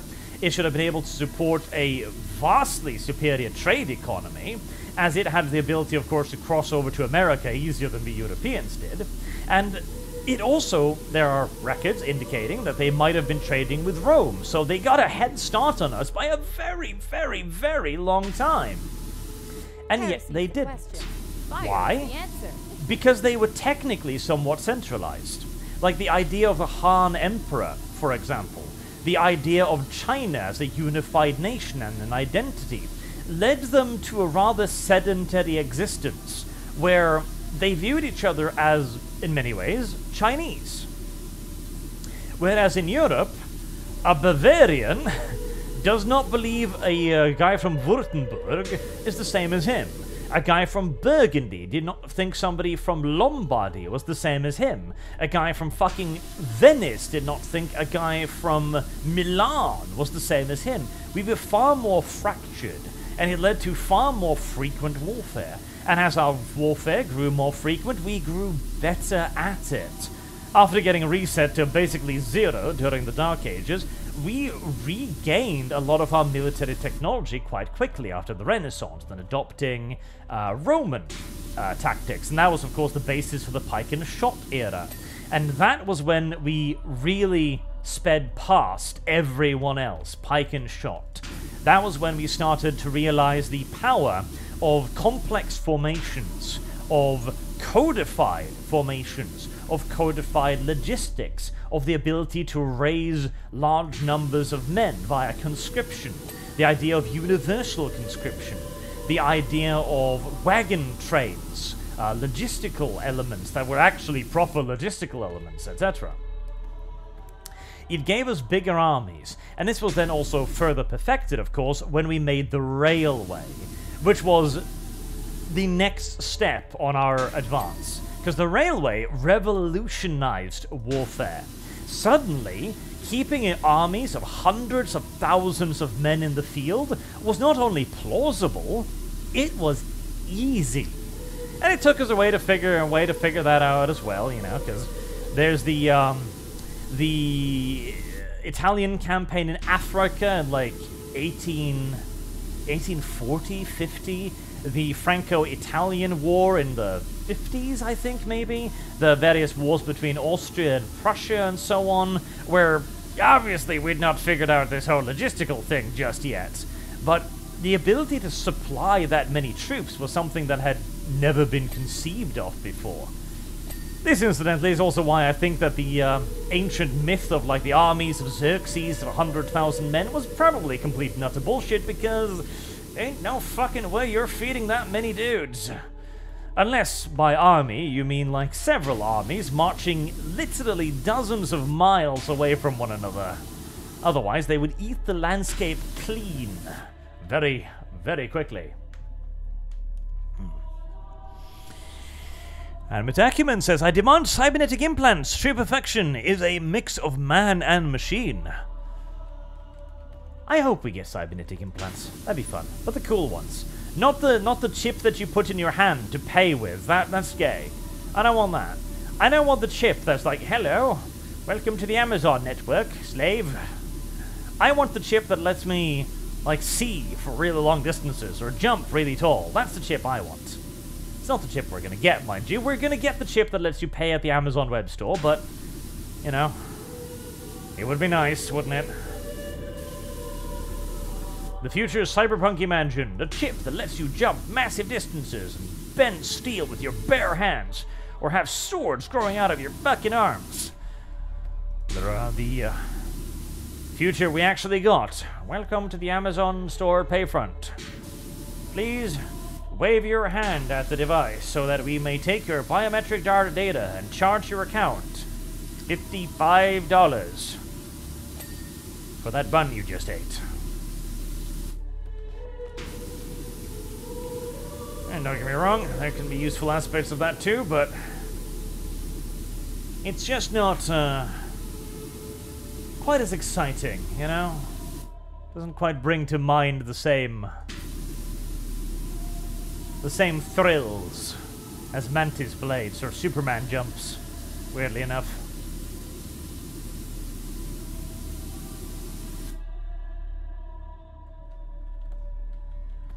There's a tiny bit on this air brake I am missing, which annoys me. What if I go down here? Aha! There we go. Hmm, I should probably bring a ladder over for that. Please, Mr. Ladder, tell me that I can put you right up over. That's not where I actually wanted you, but, well... Heresy is the question. Fire is the answer. hmm. I don't like you. You look like a gay thing dangling spot. Maybe I'm making this worse for myself than I need it to be. Maybe I can just... Maybe it's not as... No, no, it's definitely going to be as anal as I feared it is.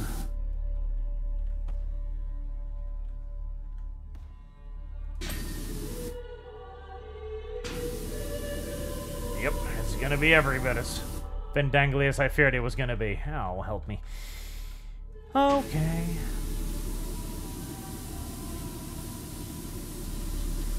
I'll console myself with the nice big flat area for a little bit. There Nice big flat area.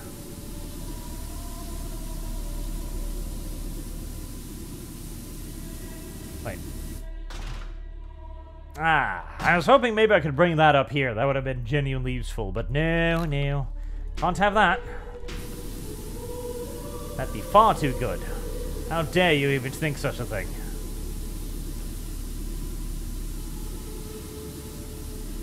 I'm going to hate the rear armor. I can already tell I'm really gonna hate the rear arm portion. Really, really gonna hate the rear arm portion. I guarantee you there's gonna be like a little dumb thing dingly bit in between those things. Which I'm gonna need to somehow clean. I don't even a ladder.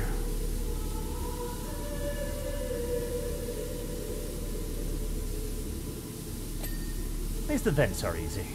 And now the little blinking lights makes me feel good about myself. Like you successfully cleaned that. Good job.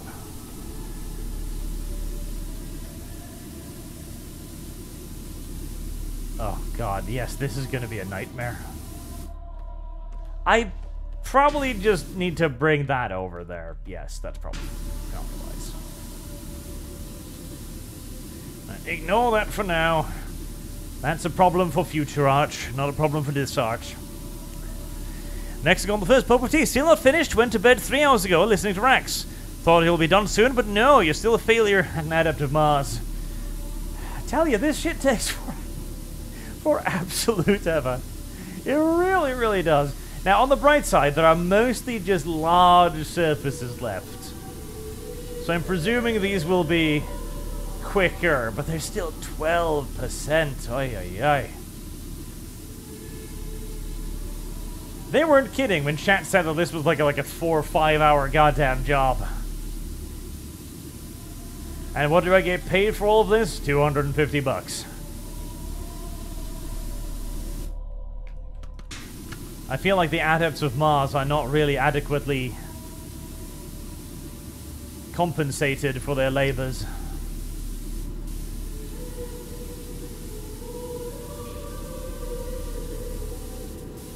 It's so tall.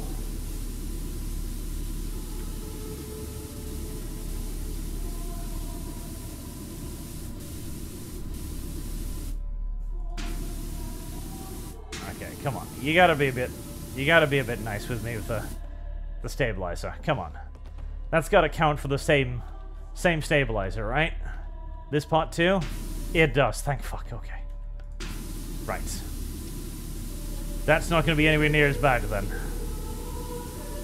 Probably. Maybe. I hope.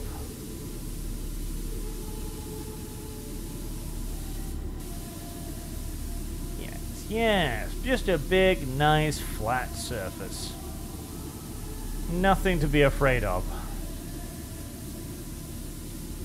I wonder how many tons this just just this enormous slab of metal must surely weigh. Good god. I feel like this thing would not fly. I feel like this thing would never ever get off the ground in any sane, reasonable universe. I feel like the orcs should probably sue the Imperium for copying their violations of the laws of nature magic. Because there's no way this enormo fuck off hunk of metal gets off the ground. I mean, look at it. It's just one enormous slab of armor. That's all it is. It's not even a flying tank, it's a flying bastion.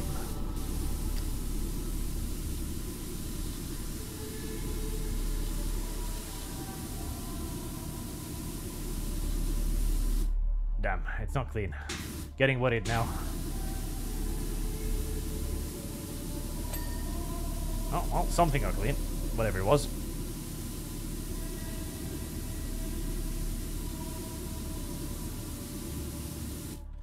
Oh, that's part of the rear armor too? Oh, oh, okay. Oh, okay, that's better. Yep, yep, please, please be clean.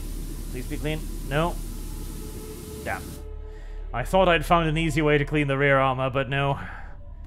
I still somehow need to get down there and dangle in to the dibbity bob bits at the ass end of the ship.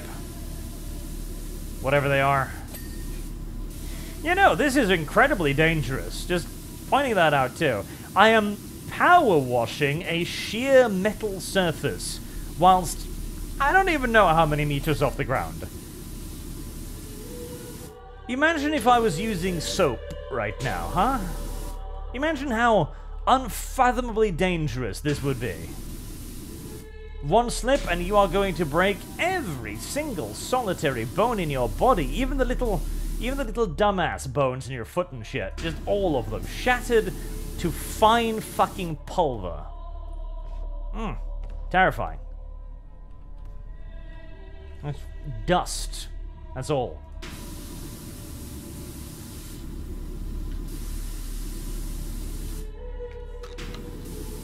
Wash, wash, wash, wash, wash, wash, wash.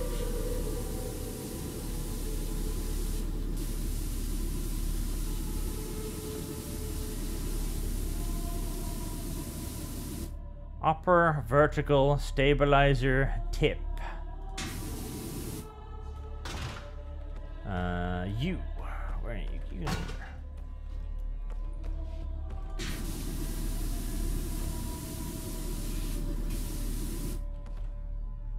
What part of you did I not clean? Don't tell me it was the front part. Well, it was definitely the front part.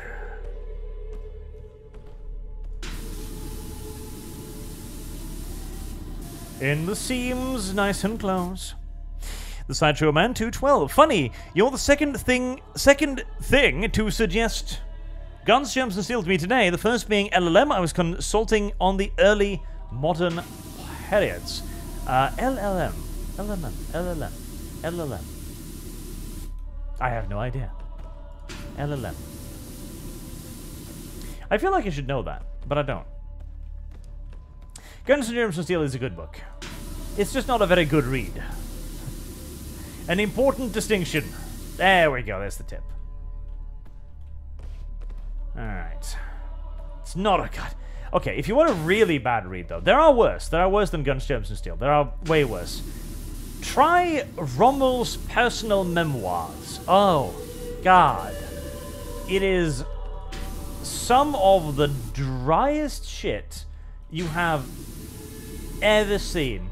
It is like the desert sands of his campaign just rose up and decided to choke you the fuck out. That's what it feels like. It is a painful, painful read as he goes into pedantic detail as well. I. He might have been a decent enough general, but he should be barred from getting his hands on any sort of writing apparatus or utensils or tools of any sort. You should give that job to somebody else who can sentence structure.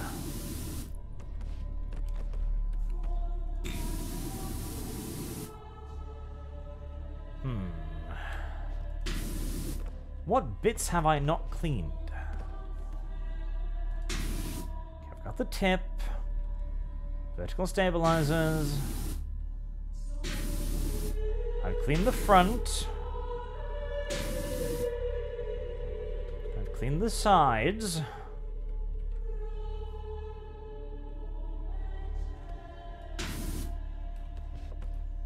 The quest for the tiny bit you didn't clean. I feel like this game is sometimes. Oh, oh, oh.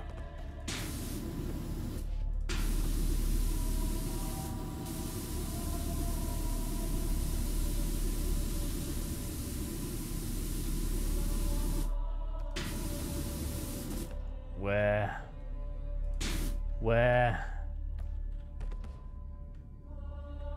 I hope it's not like those little. Hold on. Right. It's time to break my legs. Time to smash myself on the floor. Yes, that's what it, that's that's what it is. Eh. Just the there you go. Yep, knew it. I fucking knew it. Okay.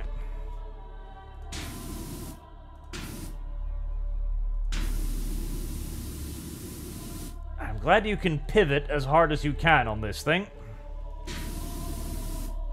I mean, I don't take any damage even if I fall, so it's not like this is actually that bad, but even so.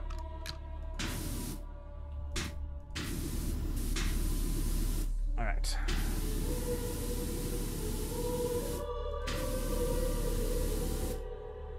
Is that still not clean?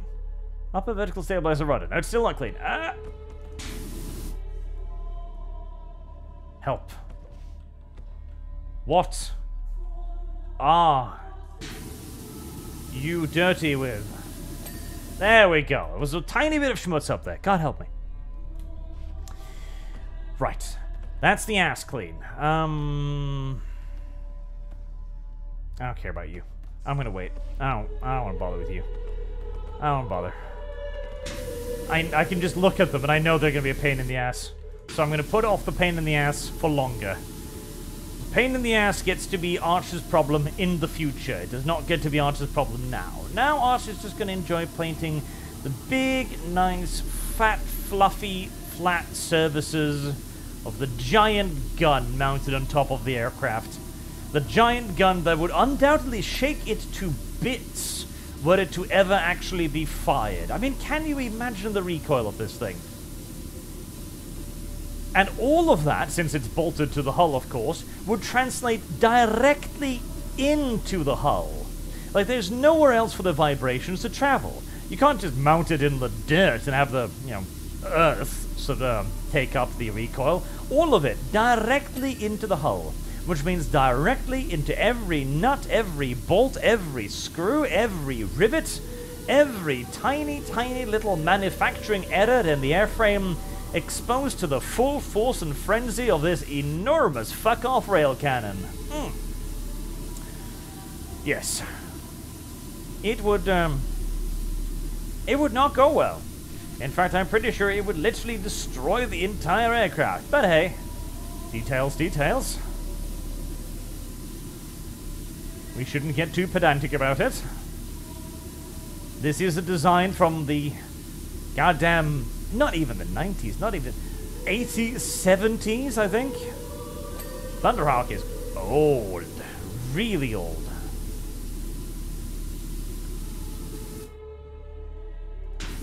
It has a filtration system. It it has exhaust vents.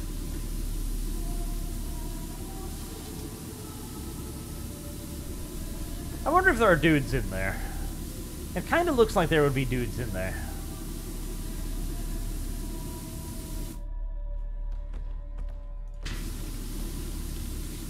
Yeah, it's a laser, but that doesn't matter. You, have you seen goddamn Lasguns in 40k? Lasguns have recoil in 40k. This thing has recoil. I guarantee it. I absolutely guarantee it. It's like how in every um, like Imperial Guard book they talk about how they've uh, they feel like the stock bumping against them, etc. Lasguns in 40k have recoil. And so this thing definitely has recoil. Big, bad, brutish, terrifying, destructive, awful, awful recoil. That was one of the things I liked about uh, Dawn of War, actually, because Dawn of War, they didn't have recoil. The, um... Well, that was kind of the weird part. So, you can see on the, uh, the Predator, right? It's obviously got recoil dampeners on the turbo, or the, uh, the turbo laser, but the, uh, the Destructor? Was the Destructor? It was the anti-tank, right? The Vanquisher? Nah. Annihilator? No. Is it? Hmm. I don't remember now. But they've got recoil dampeners. And yet, in the the las guns didn't have recoil; they just fired them. I thought that was a nice, uh, nice little, nice little touch actually, because yes, a las weapon would not have a whole lot of recoil. It might have a little bit because you are still, you know, um, expelling heated gases, I guess potentially. So a little bit of recoil, but nowhere near that what 40k usually has.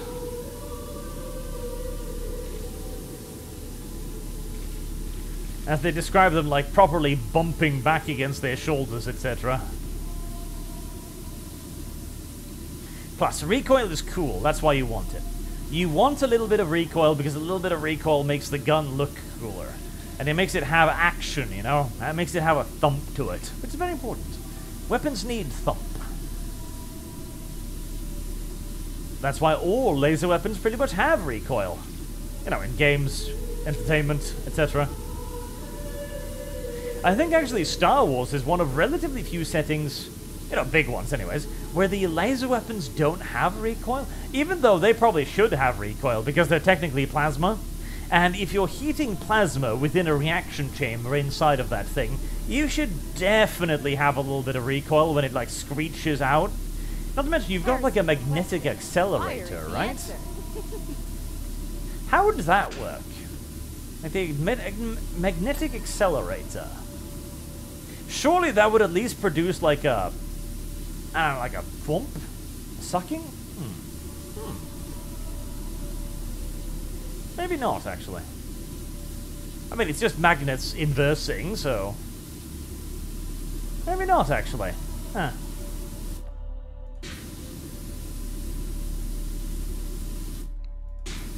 Oh well, less thing, less I can think about Star Wars weapons, the better.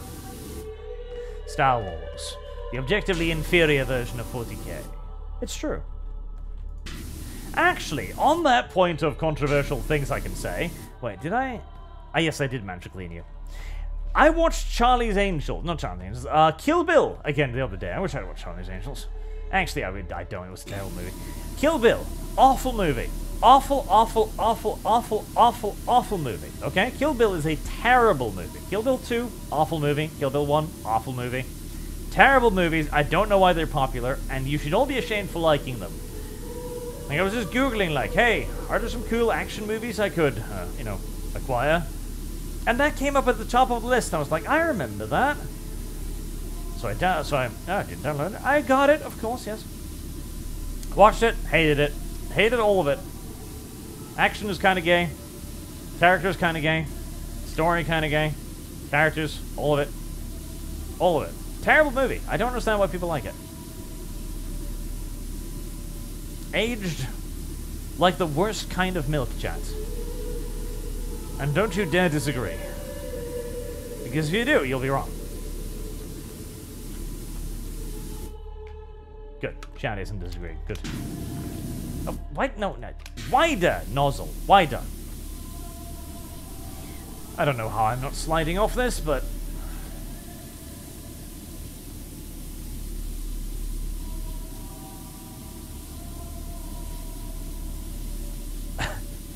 and now they're defending it. No, no, no, chat. No, no, no. You're all wrong. You're all wrong. Horrible movie. Effects are terribly dated. And sword fighting is slow and boring and mediocre. Acting is kind of meh. The story is dumb. The whole assassin thing is dumb. Characters are dumb. Cheesy. Terrible.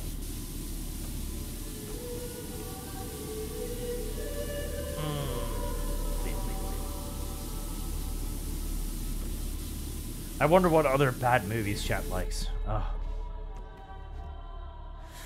This is the problem. Sometimes chat is just wrong and you don't know what to do with it. Current year makes it look good? Oh, not even that. Ah, I, I, I think I've gotten a, a very low bar for entertainment, but even then, no, no, no. Just, it just, it's, it just wasn't good, chat. You must understand. Cultural milestone, Fenrir? Not you, too, Fenrir. You disappoint me. Cultural mile... What is even wrong with you? What is even wrong with you? Though I will agree it was a little bit of a cultural milestone, but that's not reason enough to like it. We've got to reject its terrible terribleness. We must reject it. We must reject it so that we can make better things. Not that we're going to, but I'm sure we'll get there again eventually. 95%. God, I am getting close. I am actually unironically getting close. The Princess Bride. The Princess Bride. The Princess Bride.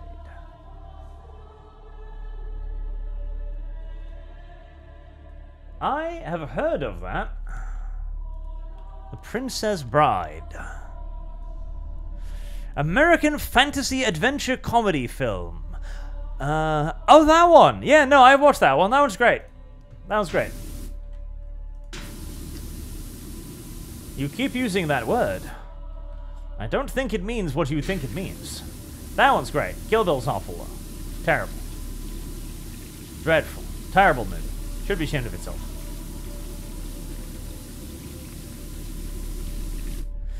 On the other hand, you know? I am warming to Fury. See? My, my tastes are evolving. Fury was not a very good movie when it first came out. But you know what? It's kind of aged well. Fury has actually kind of aged well. At the time, it was compared with Saving Private Ryan and Band of Brothers, and it didn't stand up very well in that particular company. But today, where we haven't had like a decent World War II action movie in about 20, 30 goddamn years. Fury's not bad. You know, Fury's okay. It's got Shia LaBeouf in it, which is weird, particularly considering what happened to him afterwards.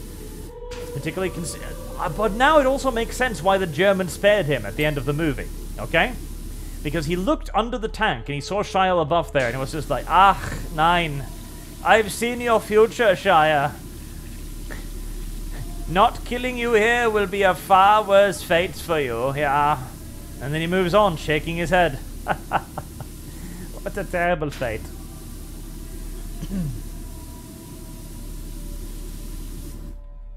now, granted, the tank duel against the Tiger. Still retarded. Still retarded. But at least the Tiger killed like all of them before Fury got it. So there's that. It should have killed Fury too, but you know, Brad Pitt was aboard Fury, so you know, you couldn't really kill that.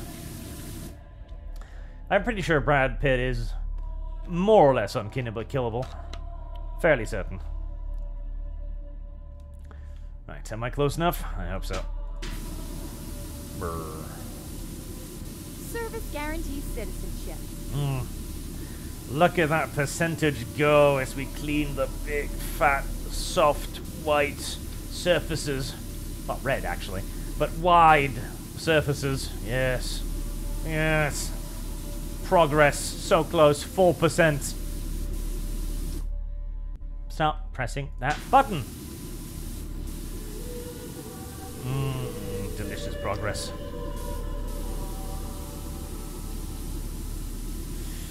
And a document, a weapon without recoil is no fun. Correct. That's why it needs recoil. Every weapon needs a little bit of recoil. Even the las weapons, even the plasmas, even the magnetics. Everything needs a little recoil.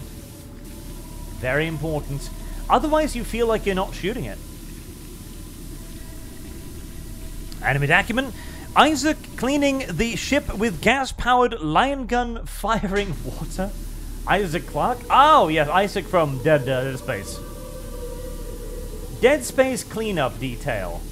I'd play that just for the meme. You go across the uh, the Ishimaru. Was this. Ishimaru? Was it the Ishimaru? I feel like it was the Ishimaru. Just cleaning it up. Retreading your steps. That would be fun. That'd be a nice little fan wank experience. I, I would enjoy that, actually. I kind of would. Narrow nozzle. Nozzle. Nuzzle me narrowly. And Frankville Jack, you said you were watching the new Shogun. Did you watch the old one with Richard Chamberlain? I, it's good. It's good, not I. Claudius, great, but good for 1980. I have not watched the original, nor do I suspect I'm going to go back and rewatch it, because honestly, Shogun Shogun is good enough as it is. Like Shogun's really good. I am really enjoying Shogun. I they've got a lot of really high quality Japanese actors, and the guy they got to uh, play the foreigner as well is really good. I fucking love his voice. He sounds like a 40k character. He sounds like a space marine. Like if Henry Cavill is watching Shogun, he needs to hire that guy. He sounds fucking perfect for the job. He really, really does. He's got that natural, unforced. No, I'm gonna get squirt like a bug. Yay. A natural, unforced, gravelly voice. Love him. He's great. Really, really good TV series. I heartily recommend Shogun, and I heartily recommend Masters of the Air as well. Go watch Masters of the Air. I know it's on Apple Plus. Apple Plus is crap, okay? But Masters of the Air is good. And once you're on there, um, For All Mankind, I think, uh, is the title, a show about going to space. Another very, very good television show. It's got like four seasons right now, I think. Very good show. Very good show. Go on, little attack wing. Become clean.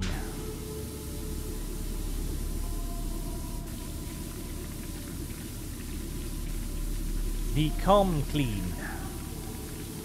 Become clean. Become clean. Ooh, that's terrifying. Become clean.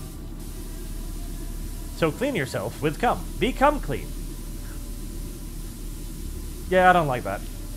I don't. I don't think you can clean yourself with that particular substance. I feel like no matter how much you clean yourself, it would just make things worse. It would just make things so much worse. You'd rub and rub and rub, and it'd just get worse and worse and worse. Sticky, get everywhere, thready, oof. Terrifying. No amount of soap would get it out after a certain point. You just feel sticky forever. Weird. And defiled in a weird way. That's the power of juice. Orgasmic juices. It makes you feel dirty in a way that nothing else really does, you know? Really stains the skin in a way that only the soul can fully cleanse. That, or fire, or a severe case of amnesia. For a moment there, I felt like something was crawling on the wall, but it was just a fan.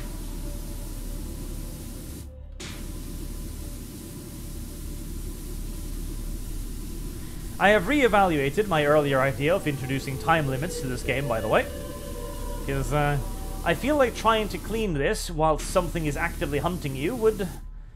Well, just kind of fucking suck, if I'm to be entirely honest. I don't actually think it would be all that fun. I think it would be terrible, dreadful, awful. Ah. I can clean it from here. Tell me I can clean it from here.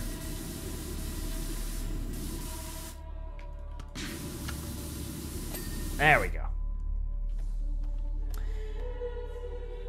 Oh god, it's almost done. It's almost clean. I know I've been saying that for a while now, but it is. It's almost done. It's almost fucking clean. It's so close. I have got the dumbass thing still, though, so let's finally deal with that. Had my fun cleaning the nice flat surfaces, so let's deposit this over here. Oh, that was... That was a lot, cool, a lot quicker than I expected to be. Hmm. Mysterious. I expected that to be a lot gayer than it was. Unexpected.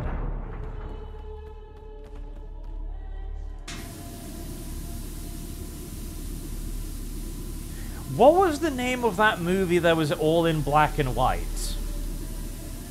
Now that we're talking about movies instead of horrible, you know, monkey peeling penis banana stuff. The one that had the Hobbit in it, uh, that had Frodo Baggins be like a crazy psycho murderer, that one. What was the name of that one? It had sequels. It got sequels, and they were all kind of garbage. And they, it shouldn't have had sequels. Service guarantees citizenship. Was it Sin City? I feel like Sin City is too cringe a title for it to have had. That was really good too. That was really good actually. I enjoyed that one. That was another one of those Jessica Alba movies, wasn't she? was in everything for a few moments there. She was in a movie about swimming. I remember that one. Uh, was that Deep Blue? That was a terrible movie. Jessica Alba can't act, incidentally, in case you run away. Well, I suppose she can act like Jessica Alba, because she has the same character in every single one of her movies, but... As far as sexy jailbait goes, I guess she did a good enough job in Sin City. Sin City, now there is an actual, like, cultural landmark right there. Screw Kill Bill. Sin City, that's the first, like, proper cultural landmark thing. For, like, comic books and mainstream stuff. what part of you is not clean? Ah, that part of you was not clean.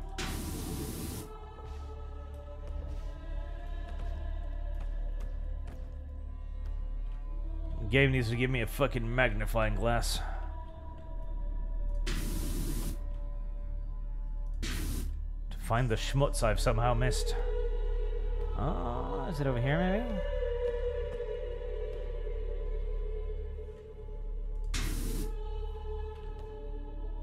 Where? Ah, there we go. There we go. Nice. Is it just the wing left? Is the wing all I have left? Oh, so close, so close, so close. Mmm, so close. Nice big flat surface. Mmm, yes, yes. Come on, 99%.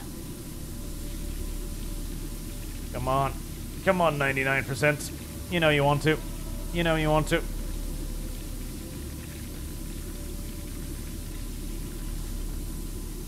Maybe with the power pack? 99? Uh, it's holding out on me. I don't like it. Come on. Come on. I need to go back and rewatch a bunch of old 90s television, I realize. Maybe it's time to do the once per decade rewatch of Pacific Blue. See, I'm sure none of you have any idea what Pacific Blue is, but to Norwegians, it's like a religion. Unironically, it's have it's had like reruns on our national broadcasting uh, station, NRK, like since forever. It's it's like a cultural hegemony over here. It's like one of the first like American shows we got in Norway, and it's been remained incredibly popular forever and ever and ever and ever. 99%. It's about bike cops. It's the weirdest premise ever. But it it weirdly sort of kind of it's like CSI before CSI. It's like Uber proto CSI. Where you know how it's a little bit weird that CSI does all of the police work, like the arresting, the investigation, the evidence gathering, the gun battles, etc. That was the same for Pacific Blue, where the bike cops did all of this. They gathered evidence, they arrested people, engaged in gun battles, power fought crime lords and drug lords, etc. It's and so on and so on. All whilst desperately banging one another violently and vigorously, continuously, as fresh cast members of young, nubile youngsters joined them, only to be banged violently. Ah, the good old days.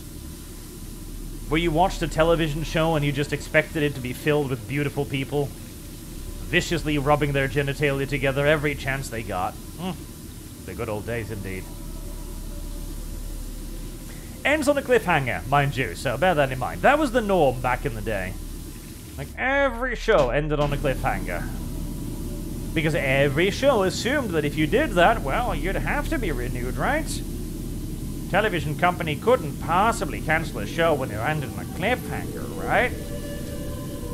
Television show would totally give you another season, right? No, no, no, they wouldn't. Television show really didn't care. They just, just did not care. Not two shits. Especially not in the era of Baywatch, where everyone was trying to be Baywatch. You know, Baywatch almost failed, you know? That, that's an interesting little factoid. Baywatch almost flopped, because it didn't actually get that much of an audience right off the bat. In fact, a lot of its audience happened outside of America, in a lot of weird places, like Iran. I know, Iran does not seem perhaps like the kind of place that you'd expect a sizable Baywatch audience to appear, but nope, it was a very sizable audience. God damn it, front of the wing.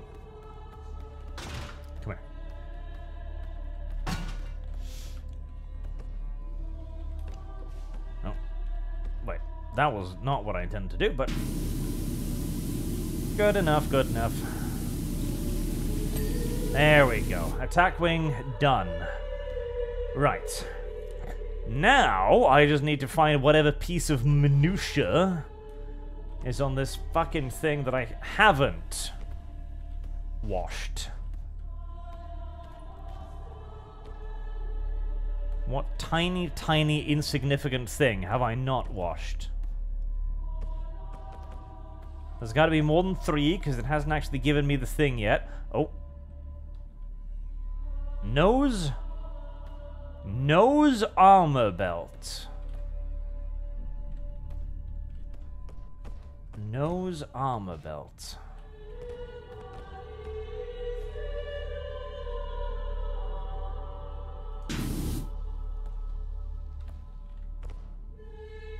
Well, there's no dirt here. News. Oh, heavy bolter is still schmutzig. Okay. That's fine. We can fix that easily enough.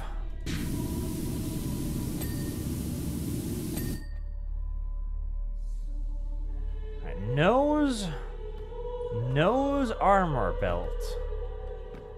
Nose armor belt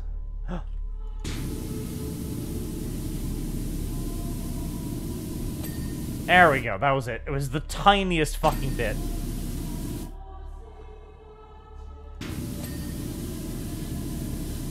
The tiniest, tiniest, tiniest fucking bit. Come on, come on, come on. We're speed running this now, chat. We're gonna finish this. We are going to beat Power Wash Simulator.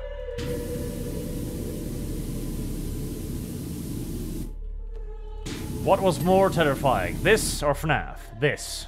Definitely. Not that you asked, chat, but I answered the question regardless. Even if you did not pose it.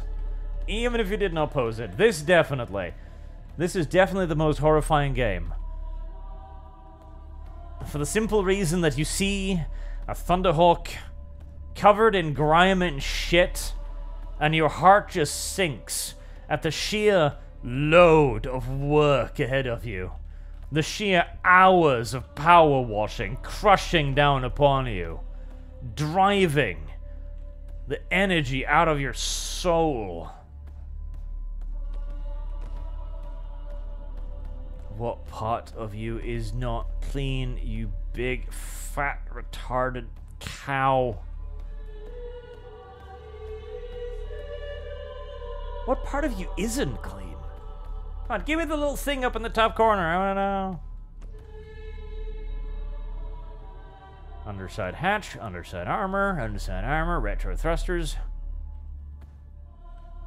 What part of you is not clean?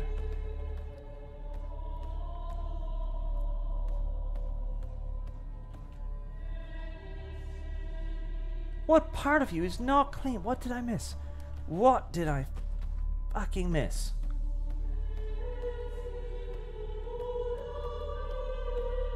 What part?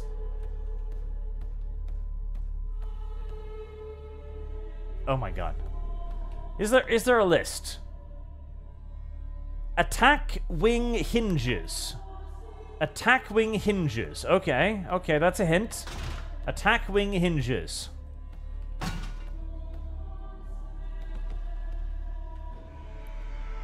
Right, attack wing hinges.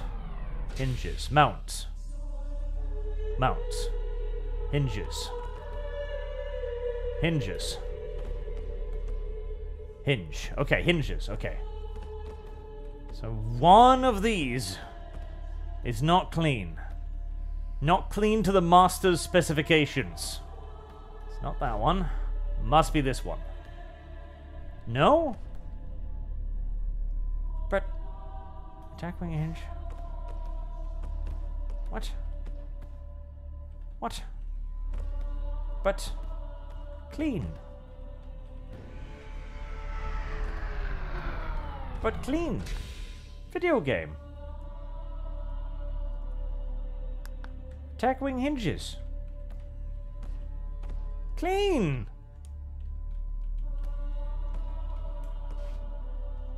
I am lost and confused.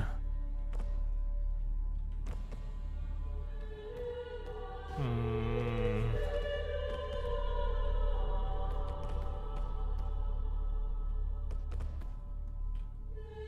Clean. Clean. that one. What? Have I, how didn't I see that? I checked that one. God damn it. The question. Fire is the answer. All right.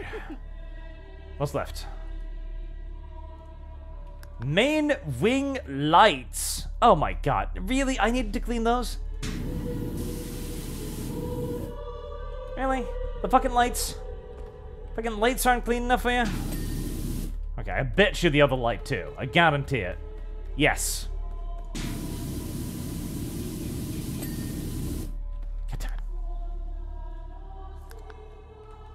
Engine turbine. It's a turbine. It'll get dirty again. It's 1% not clean. Here at the Forge, we pride ourselves on absolute excellence. There will be no breaks until you're done. Look, there's a big black spot there. Main wingtip lights. Main... Main wingtip lights. Okay, not you.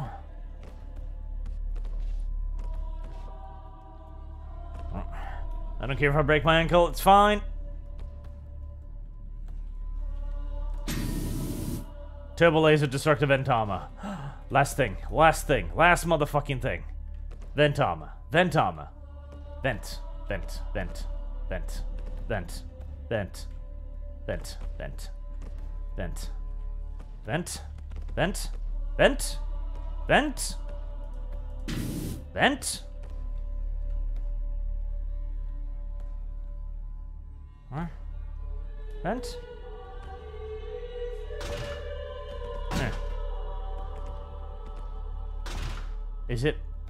I fucking bet you. It's right under there or something. Vent? Vent? Oh, yes, it was. Vent? Vent? Okay, can I make it blink?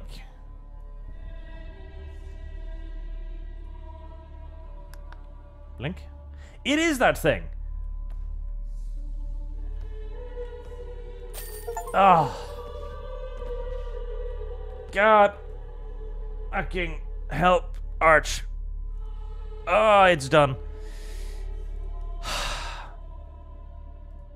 Ah. I hate this game. I hate this game. I hate this game. I hate this game. I hate this game and I hate whatever it did to me. Mm. Sandum on Streamlabs. It did help Europe that the disease of Europe wiped out a good chunk of the natives in America. I think it was like 90% that died. Correct me if I'm wrong. It certainly did help. It was useful. It was a, it was a worthwhile aid. You know, it was a, it was a good, good cheat mechanism, if nothing else. Ha Tulek, hallo Herr Bogen, werfen Sie einfach nur mit Deutschen? Wollten um Sie oder sprechen? Sie die sprechen wirklich? Falls? Ja, warum? Oh, I did speak, but it's been fucking ages by now. Like, I can barely pick apart German, and it is not easy anymore. It's been like, what, 20, 25 years or something? It's been a while. Adam Document, is there anything more terrifying than a 9 to 5 job? No, no, I don't think it is. Glorious Swordsman, now polish it, Adept. I don't want to. I. I don't wish to. Never again. Never, ever, ever again. Ah, awful. I hope they don't do any more DLC. I swear to God. I swear to Jesus. If this becomes popular and they decide to add more 40k power washing, no.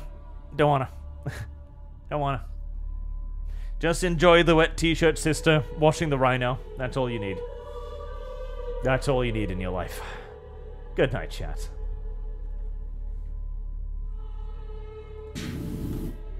Oh, the time lapse? Uh, oh yeah, there we go.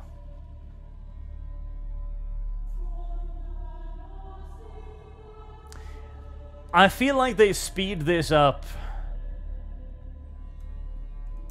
a lot more than it really did happen. I feel like this took a lot longer than this. Right, I'm pretty fucking sure this took a lot longer than this. In that first portion there was the first three hours. Oh, God help me. Terrible. Terrible.